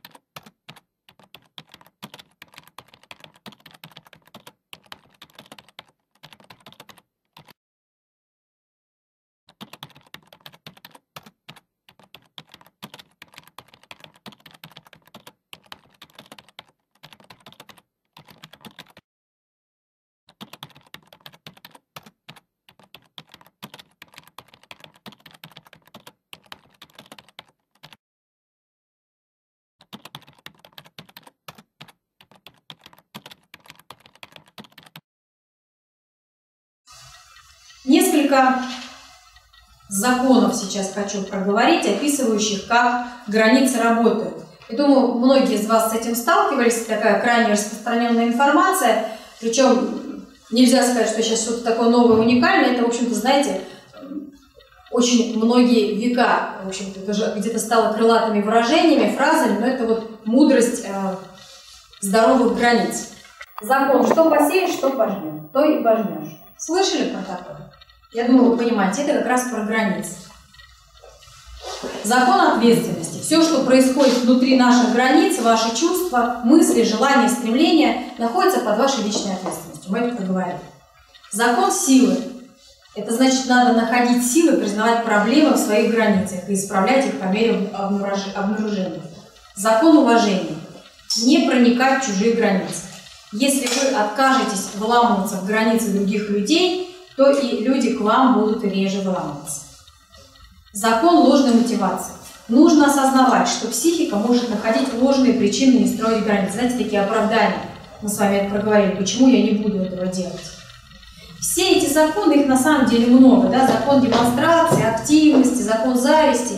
Они все, э, как раз-таки все эти законы про то, что мир будет вам отдавать ровно столько, сколько вы будете в себя вкладывать, заниматься собой и то, что вы будете отдавать в мир. Есть несколько, есть два, точнее, несколько, есть два важных момента, на которые хочется обратить сейчас внимание, а, такие наиболее часто задаваемые вопросы. Где грань между равнодушием и соблюдением границ? Когда-нибудь задавались таким вопросом? Ну, может быть, формулировка немножко другая, да, где, где та самая граница между моим равнодушием да, и здоровым отстранением. Ну, люди постоянно спрашивают, да, где граница между созависимостью там, и здоровьем. Это, в общем, про это. Сопереживать своему близкому – это нормально? Да. Как считаете? Сопереживание – это нормальное человеческое чувство, ну, без этого человека просто не существует. Поэтому, конечно же, это нормально. Но сострадание, сочувствие – это признак здоровой личности. Где вот эта грань где здоровое сочувствие, сострадание, а где это уже нарушенные границы. Смотрите, если чужая боль действует на вас парализующе, если вы не можете радоваться тому, что происходит в вашей жизни, это уже не сострадание с вашей стороны, это как раз признак нарушенных границ. Может быть симбиоза до смешанных границ, либо же чрезмерно открытых границ. И на первый взгляд это может показаться, знаете, кому-то выгодно даже. Но на самом деле, погружаясь в чужую жизнь, вы никогда не, вы, получается, не знаете, что делать с собственной жизнью. Посмотрите, человек, который живет чужой жизнью, а у него своя вообще есть? Нет. Очень часто, ну, один из самых распространенных моментов это какой? Когда, например, мать посвящает свою жизнь своему ребенку, сначала маленькому, потом большому, ребенок вырастает, уходит, а у нее своей жизни нет. Ну, например, сначала она растет его, потом у него дети, она там с его детьми, там с внуками, и те подросли, и тут она остается не у дела, у нее нет своей жизни. У нее нет своих увлечений, потому как она все время занималась то детьми, то этим, то всем, то туда их водила, то сюда. И когда их вдруг не становится в ее жизни, а у нее своя-то есть, ей становится очень печально. И кто-то способен с этим справиться и восстановить свою жизнь. Но чаще происходит такая реакция, как «я на вас всю жизнь положила, ах, вы неблагодарный», много боли, много обвинений, много чувства вины. Здесь нет ничего хорошего. Э, здесь же можно еще рассмотреть пример созависимых отношений, знаете, там, симбиотических, когда там муж, жена, а, кто-то в паре алкоголик или наркоман, и вот это вот состояние, да, мое эмоциональное зависит от того, какой он сегодня придет. Трезвый или нетрезвый. Если не трезвый, то все как бы вот, ну, вечер сегодня пропал, жизнь не удалась. Если трезвый, вроде как все не так уж и плохо. И э, в созависимых отношениях критерий вот этот, где, да, разница между сопереживанием, сочувствием, желанием помочь и уже нездоровьем, она вот еще в чем заключается. Смотрите, для того, чтобы помочь другому человеку, мне самому нужно быть жизнеспособным, активным. Если я точно так же буду сидеть, умирать и страдать, как вот этот человек, я ему смогу помочь? Нет. Ну нет, ну представьте, вы приходите, да, там, к стоматологу, у вас будет зуб болит, там, флюс, рыдаете, он рядом с вами садится и тоже рыдает. Гладит вас по ручке, говорит, ты же мой бедненький, сюсик, Такая, наверное, помощь никому не нужна. Так вот, зачастую помощь зависимого человека, она как вот помощь вот этого сюси-пуси, да? То есть, чем более вы раскисаете, чем более вы проникаетесь этими чувствами нездоровыми, тем меньше вероятность, что вы действительно сможете, сможете помочь. Ну или представляете, да, вы приходите за помощью, обращаетесь, в решении, да, к специалистам помогите, что делать. Специалисты решения тоже все сели, носовые платки достали, давай рыдать и своими печальными историями делиться, не показывая, как из этого выйти. Ну, я не знаю, до группового суицида можно дойти при таком раскладе. Понимаете? Если такая помощь будет оказываться. Поэтому это вот как раз зависимые отношения, а не здоровые границы.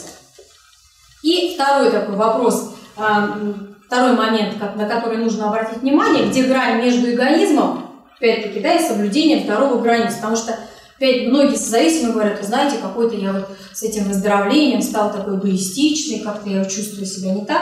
У большинства созависимых, которые начинают выздоравливать, есть это практически вот каждый говорит, что вы знаете, как-то мне не по себе, какой-то я эгоистичный, мне еще и окружающие люди об этом говорят, что какой-то я эгоистичный.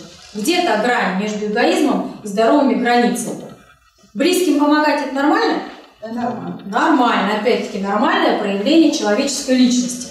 И если вы это делаете добровольно, да, и если эта помощь удовлетворяет ваши личностные потребности, ну, например, вы видите, что ваша помощь приносит свои плоды, вы там, не знаю, денег дали, например, на развитие там какого-то бизнеса, там, не знаю, своему брату, и вы видите, что он действительно этим занимается, вам от этого радостно, хорошо, тогда это помощь. Но если вы видите, что он на вас опять приходит, или там сын говорит, мама, дай мне денег на развитие бизнеса.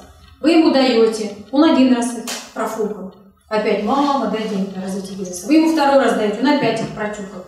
Он третий раз идет, а вы такие для себя сказочку рассказываете, ну я же ему помогаю, сыну надо помочь, продвинуться в жизни. При этом думаете, вот поганец, сейчас опять их профукает. То это уже не помощь. Вот это не помощь, это признак нарушенных границ.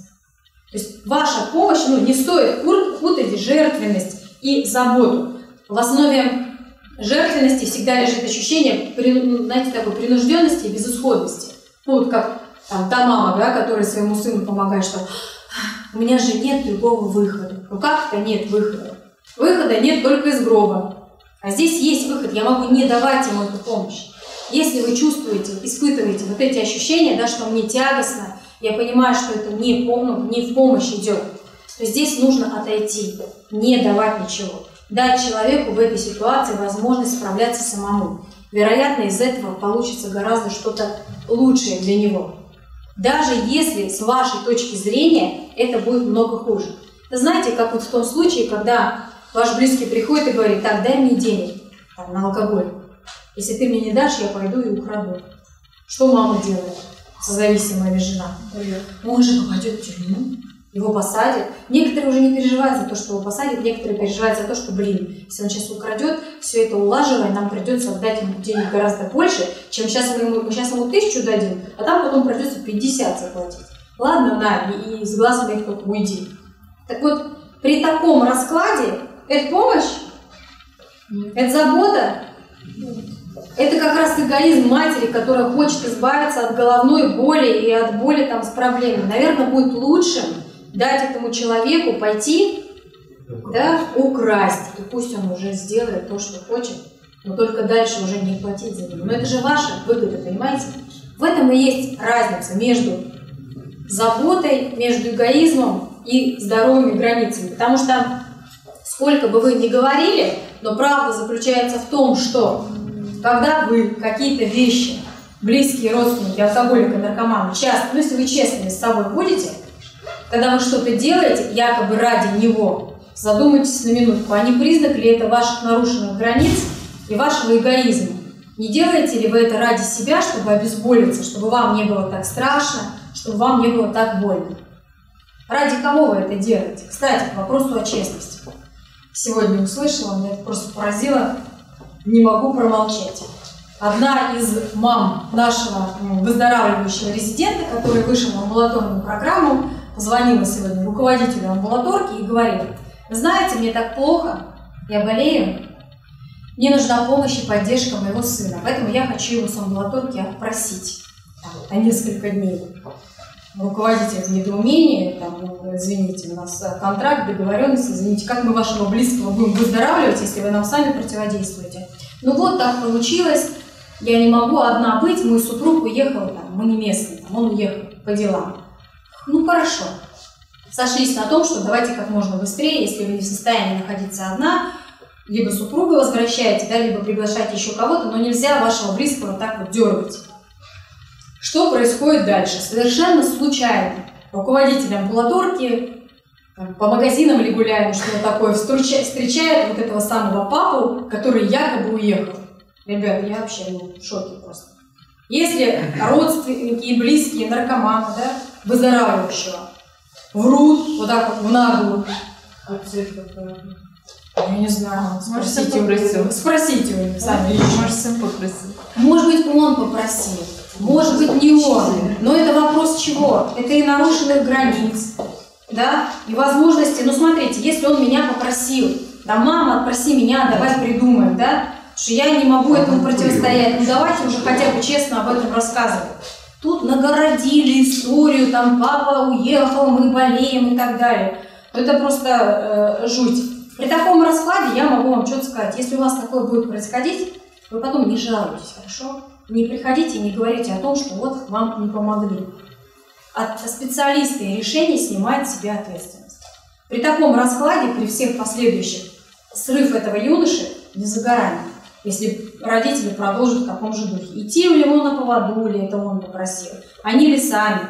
Но если будете вот так вот врать, прикрываясь, да, любовью, заботой и так далее, свои нездоровые границы поддерживать, и его в том числе, то это приведет только к одному, что он светит. И потом будете плакать вы, ну никак не вы, понимаете? Мы свою работу делаем.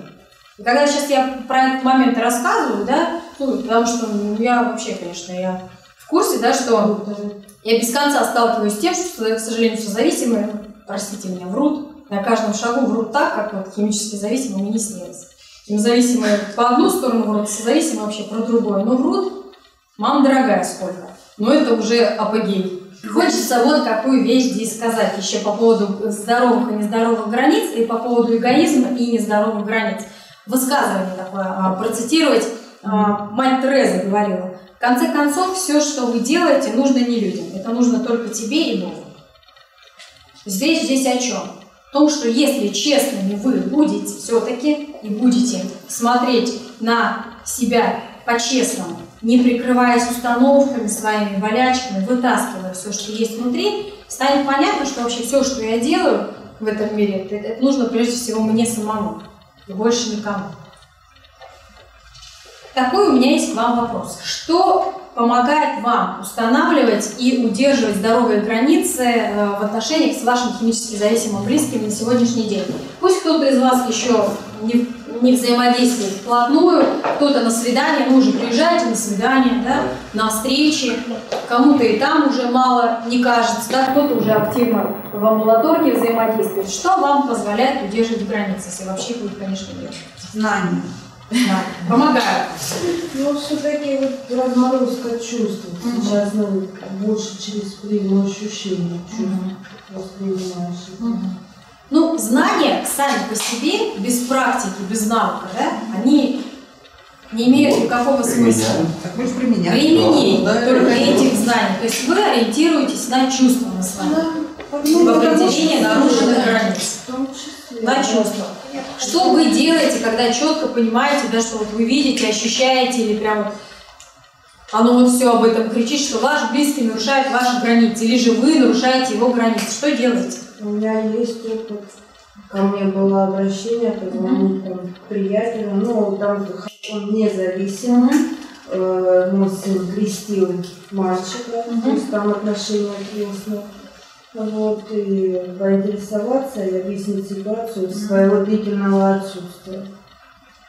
Я, я помолчала какой-то, ну, несколько секунд, и потом сказала, я этого делать не буду.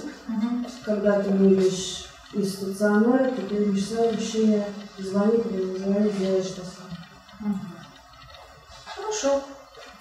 Почему я вас все это спрашиваю? Потому что вы хоть и молчите, но я-то знаю, что у вас есть нарушение границ. Прям у некоторых очень прям пы- пышным цветом. Границы нарушаются личностные в двух- в двухстороннем порядке со стороны химически зависимого близкого, со стороны созависимого, бесконечным контролем, засовыванием своего носа туда, куда не надо, там, вопросами. процесс лечения, а как оно там, а какие Ну, инструменты используете, а как вы выздоравливаете, а как оно получается или не получится, скажите нам, как вы выздоравливаете. Есть опыт.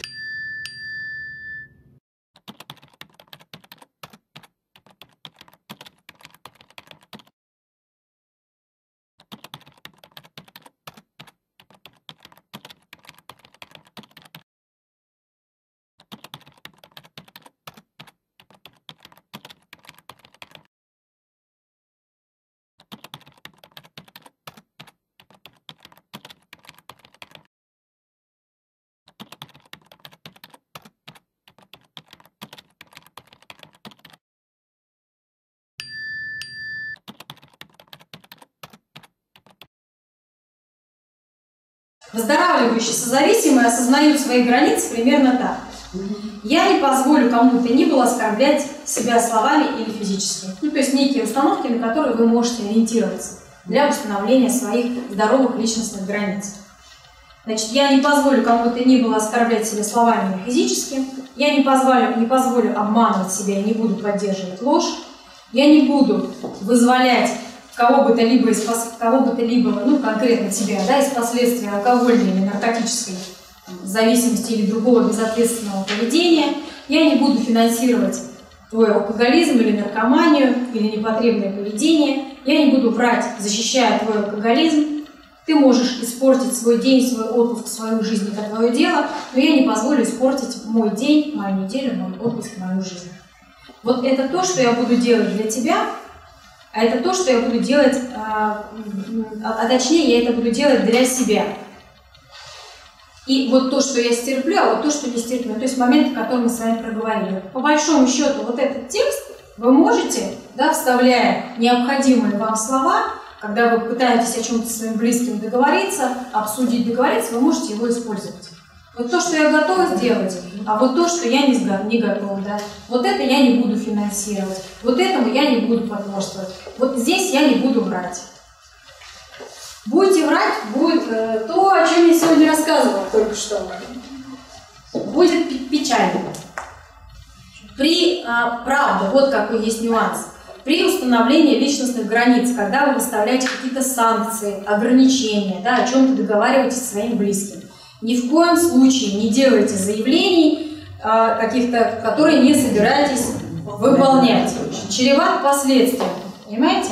Если вы э, грозите разводом, но не собираетесь этого делать, жены у нас все как одна, да, уходят постоянно, разводятся, но не уходят и не разводятся. Ну и тогда не говорите это, другие какие-то санкции. Если угрожаете выгнать из дома или лишить денег, но сами не намерены это выполнять, не нужно этого делать. Иначе это все не будет иметь никакого действия. То есть выставляйте ровно такие санкции, которые вы готовы исполнять. А уж если что-то заявили, то делайте это. Иначе это все брехня, болтовня. Просто. Которая не, не даст никакого результата. До тех пор, пока ваш близкий, да, если вдруг он нарушил границы, и вы не выдвигаете четкие, понятные последствия, пока к нему не приходит ответственность, все. Все остальное бесполезно.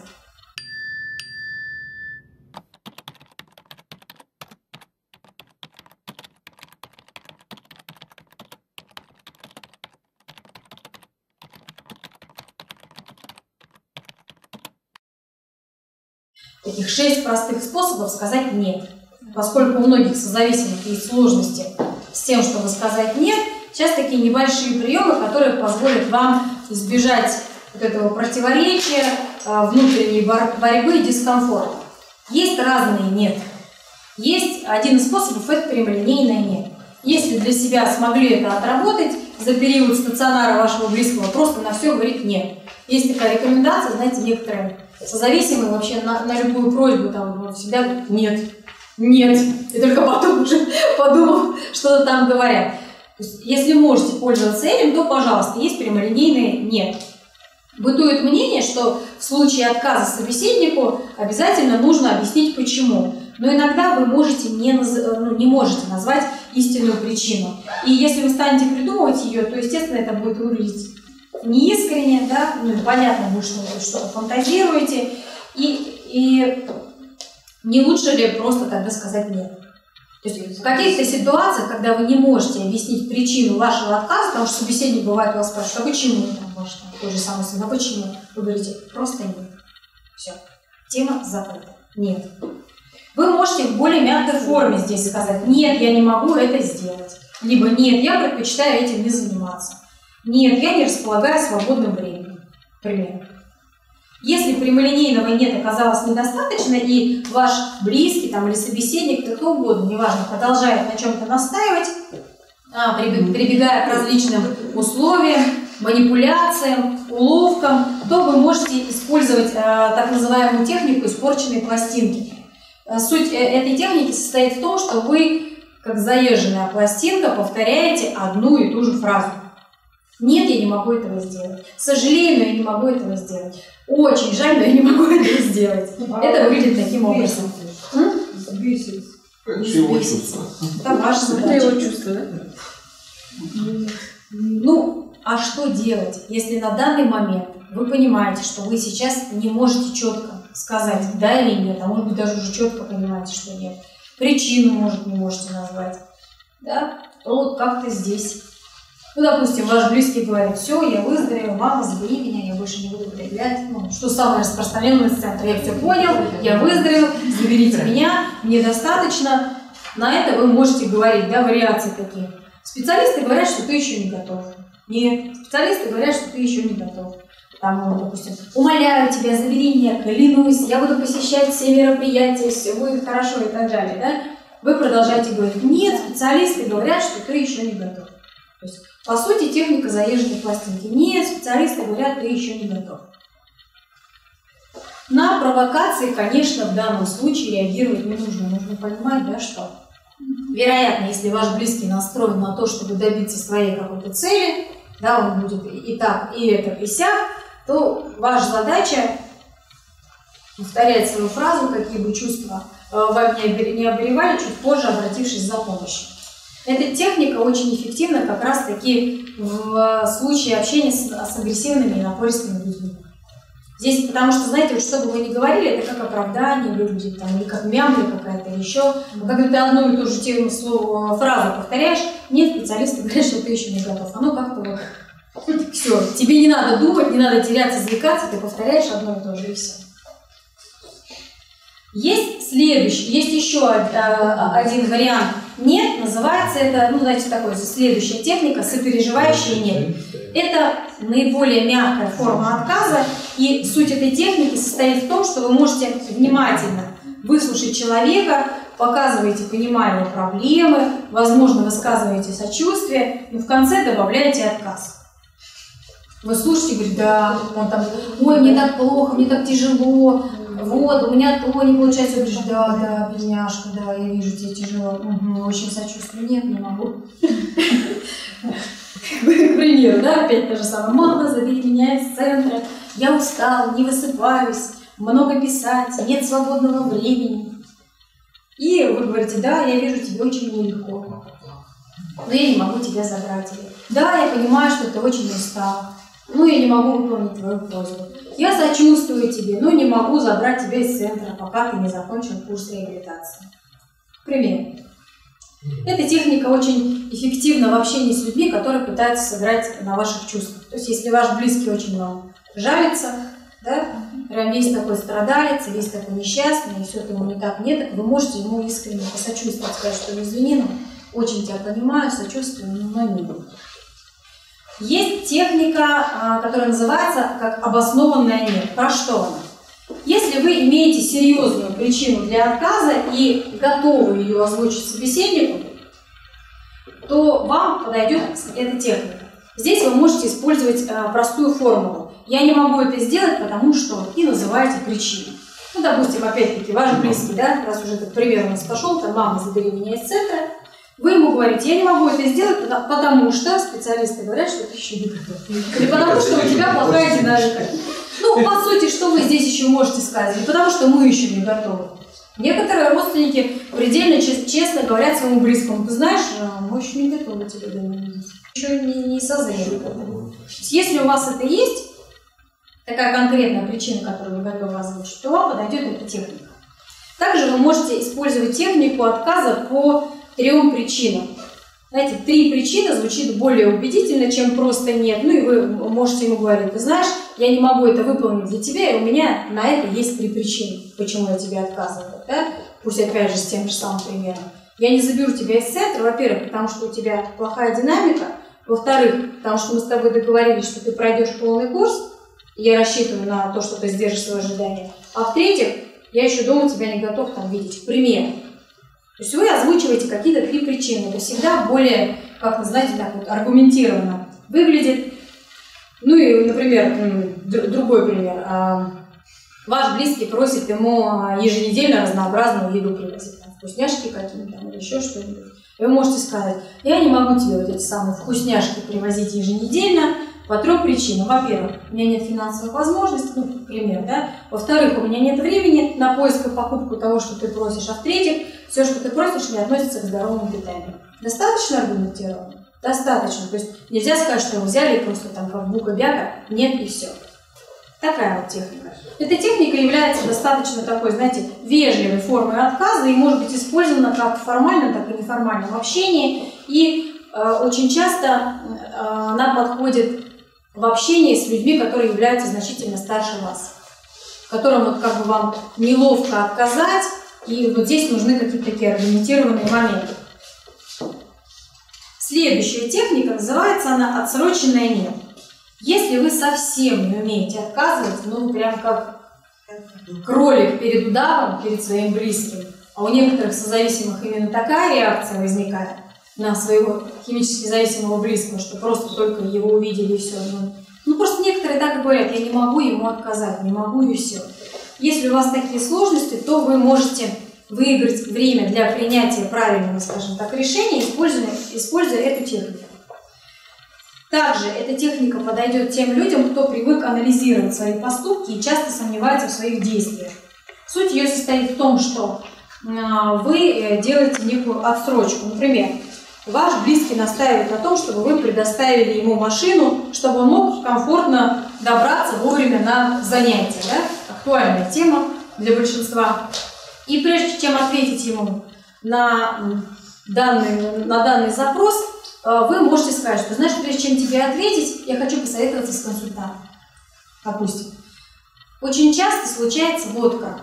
Поскольку ребят химически зависимы, многие очень напористые и используют а, для, для получения каких-то результатов именно вот эту напористость, требуя ответа вот прямо здесь сейчас. Вот скажи мне сейчас, мне нужен ответ сейчас, дабы потом этим манипулировать и говорить о том, что ты же мне сказал «да».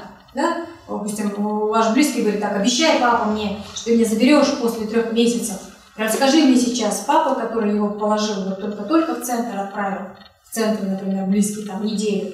Он говорит, хорошо, я тебя через три месяца заберу. И ваш близкий начинает потом этим пользоваться. И здесь суть состоит в том, чтобы вы не давали этот ответ сразу, а взяли все-таки какое-то время на обдумывание. Поэтому используйте, что сейчас я не могу тебе дать ответ, да? мне нужно посоветоваться, или я не могу тебе сейчас сказать, потому что мне нужно обсудить, или я не могу тебе сейчас сказать, мне нужно посмотреть еженедельники. Например, кто-то настаивает на встрече с вами, там говорит, слушай, отвези меня туда-то, мне нужна твоя помощь, да, свози меня туда-то. И вы не готовы сейчас сразу дать ответ, вам сложно сказать нет, вы говорите, значит, я не могу сейчас тебе сказать, мне нужно посмотреть свои планы, что у меня там ежедневно. Такая мягкая форма отказа. Или можно я скажу тебе немного позже, мне нужно подумать. Либо мне надо взвесить все возможности, я позвоню тебе. Допустим, вот такой вариант. Или же, это новая информация для меня, мне нужно время для обдумывания. То есть вот такие фразы вы можете использовать для того, чтобы дать себе время и обдумать, а как оно будет правильно. А тем самым временем, когда вы выиграли то, чего вам не хватало, да, времени опять-таки, времени, тавтология сплошная, позвонили своему там, наставнику, если вы занимаетесь, да, позвонили консультанту, руководителю, позвонили нам, посоветовались, пришли на группу, получили какую-то обратную связь и приняли верное решение. С этим понятно? Да. Эта техника для близких родственников, алкоголиков и наркоманов очень актуальна. Она помогает очень многих сложных моментов избегать, потому как ребята будут с вами, те, кто выходит на молоток, торговаться, будут вытребовать у вас то все. Многие из вас уже с этим столкнулись не понаслышке. Следующая техника, называется она компромиссная «нет» или «нет наполовину». В некоторых ситуациях, например, вы готовы помочь да, своему близкому или какому-то другому человеку, неважно. Но только не полностью, а, допустим, а частично. И в этом случае вам нужно спокойно предложить собеседнику свои условия. Главное, будьте точны. Определите точно, что вы готовы делать и что нет. Например, ваш близкий просит ему купить, я не знаю, там, кроссовки какие-нибудь, да, Adidas какой-нибудь, неважно, что там он просит. Вы можете согласиться на покупку. Ну уж понимаете, что ему кроссовки надо купить. Ну, естественно, одну кроссовку ему покупать не надо. Но вы можете ему сказать о том, что я тебе кроссовки куплю, но это будет не Adidas, а там что-то другое, там, допустим, дешевле, там, в пределах суммы 2000, к примеру, как вариант, да? То есть, по сути, вы пошли же на его просьбу, пошли ему навстречу, пошли, но вы делаете это такое наполовину, то есть на ваших условиях. Или же а, ваш близкий по условиям семейного контракта, допустим, должен самостоятельно там дома убираться, там, или стирать, или еще какие-то там домашние дела делать, к примеру. Но в связи с занятостью своей, весь такой бедняжечка, весь выздоравливает, каждый день на группу, свободный день ходит, и туда на занятия, и сюда, еще и спортом занимается, говорит, мама, не успеваю, постирай мою одежду. Вы, в принципе, можете пойти ему навстречу, если вы действительно видите, потому что это вот в связи с его занятостью. Но опять-таки, не вот прямо сейчас мама встала посреди ночи и побежала стирать. Вы говорите, хорошо, вот я буду завтра, допустим, стиркой заниматься или там послезавтра. И тогда вместе с общей стиркой я могу постирать твою одежду. К примеру. То есть не так, что вот как, только как он просит, а все-таки и на своих условиях в том числе. Если же ваши условия оппонента вашего не устраивают, вашего близкого да, или еще кого-то, вы вправе отказать э, в его просьбе. Эта техника наиболее эффективна тогда, когда вы готовы помочь э, своему близкому, там, собеседнику, тому, кто обращается к вам за просьбой, но э, условия вам кажутся не подходящими, нереальными. Поэтому пользуйтесь, пожалуйста, ей. Ну и последняя техника, которую здесь я вам предлагаю попробовать. Дипломатичное «нет» или «нет» в мелочах.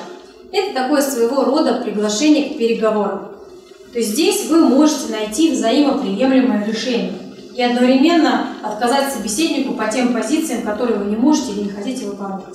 Тем из вас, кто молодой, кто еще не вышел, тот предстоит, предлагаю этим пользоваться. У вас будет семейный контракт, там будут какие-то позиции, вы можете как раз-таки этой техникой воспользоваться. То есть если у вашего близкого будут какие-то запросы, которые вам не совсем подходят, не нравятся, вы сомневаетесь, да, то вы можете использовать вот это дипломатичное «нет» в мелочах. Например, может, я могу помочь себе как-то по-другому. Допустим, он просит у вас помощи, да, в чем? не обязательно ваш близкий, кто-то, не важно. Вы можете предложить другую помощь. Вы говорите, я готов тебе помочь, но не так. Чем-то другим я тебе могу помочь. Он говорит, например, мне нужны деньги. Вы говорите, я понимаю твою ситуацию, там тебе тоже что-то нужно, я тебе готов помочь, но денег я тебе не дам. Я как-то по-другому тебе еще могу помочь. Может, вы ему работу подкинете какую-то, да, за которую он может оплату получить. Может быть, там он что-то сделает такое. То есть какие-то другие варианты.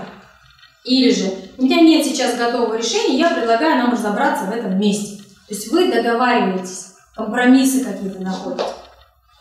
Также вы можете оказать помощь, пригласив к сотрудничеству третье лицо. Но в вашем варианте это, наверное, самый вот такой вариант э, приемлемый. Да? Инструмент будет вариант, когда вы будете консультанта пригла- приглашать в спорных каких-то моментах. Ну не в смысле он прям там домой к вам приехал. Вы можете в телефонном варианте, вы можете в центр приехать. Можно будет договариваться. Если не можете договориться сами, приглашайте третью сторону. Для того, чтобы все-таки вам обоим обеим сторонам было хорошо. Наше занятие хочу закончить э, словами молитвы гештальтиста. Да, есть такое направление психотерапии, называется гештальт. И оно как нельзя точно отражает э, суть границ и отдельности каждого человека. Я – это я, а ты – это ты. Я пришла в этот мир не для того, чтобы соответствовать твоим ожиданиям а ты не для того, чтобы соответствовать моим. Я делаю свое дело, а ты делаешь свое. И если нам удалось встретиться, это большая удача. А если нет, то этому нельзя помочь. Что вы для себя из этого возьмете? Будет дело ваше. Домашнее задание. Вспомните и пропишите, в каких жизненных ситуациях с вашим химически зависимым близким, близким вам чаще всего не удавалось удержать свои личные границы. Подумайте, как теперь вы можете отстоять эти границы при повторении ситуации.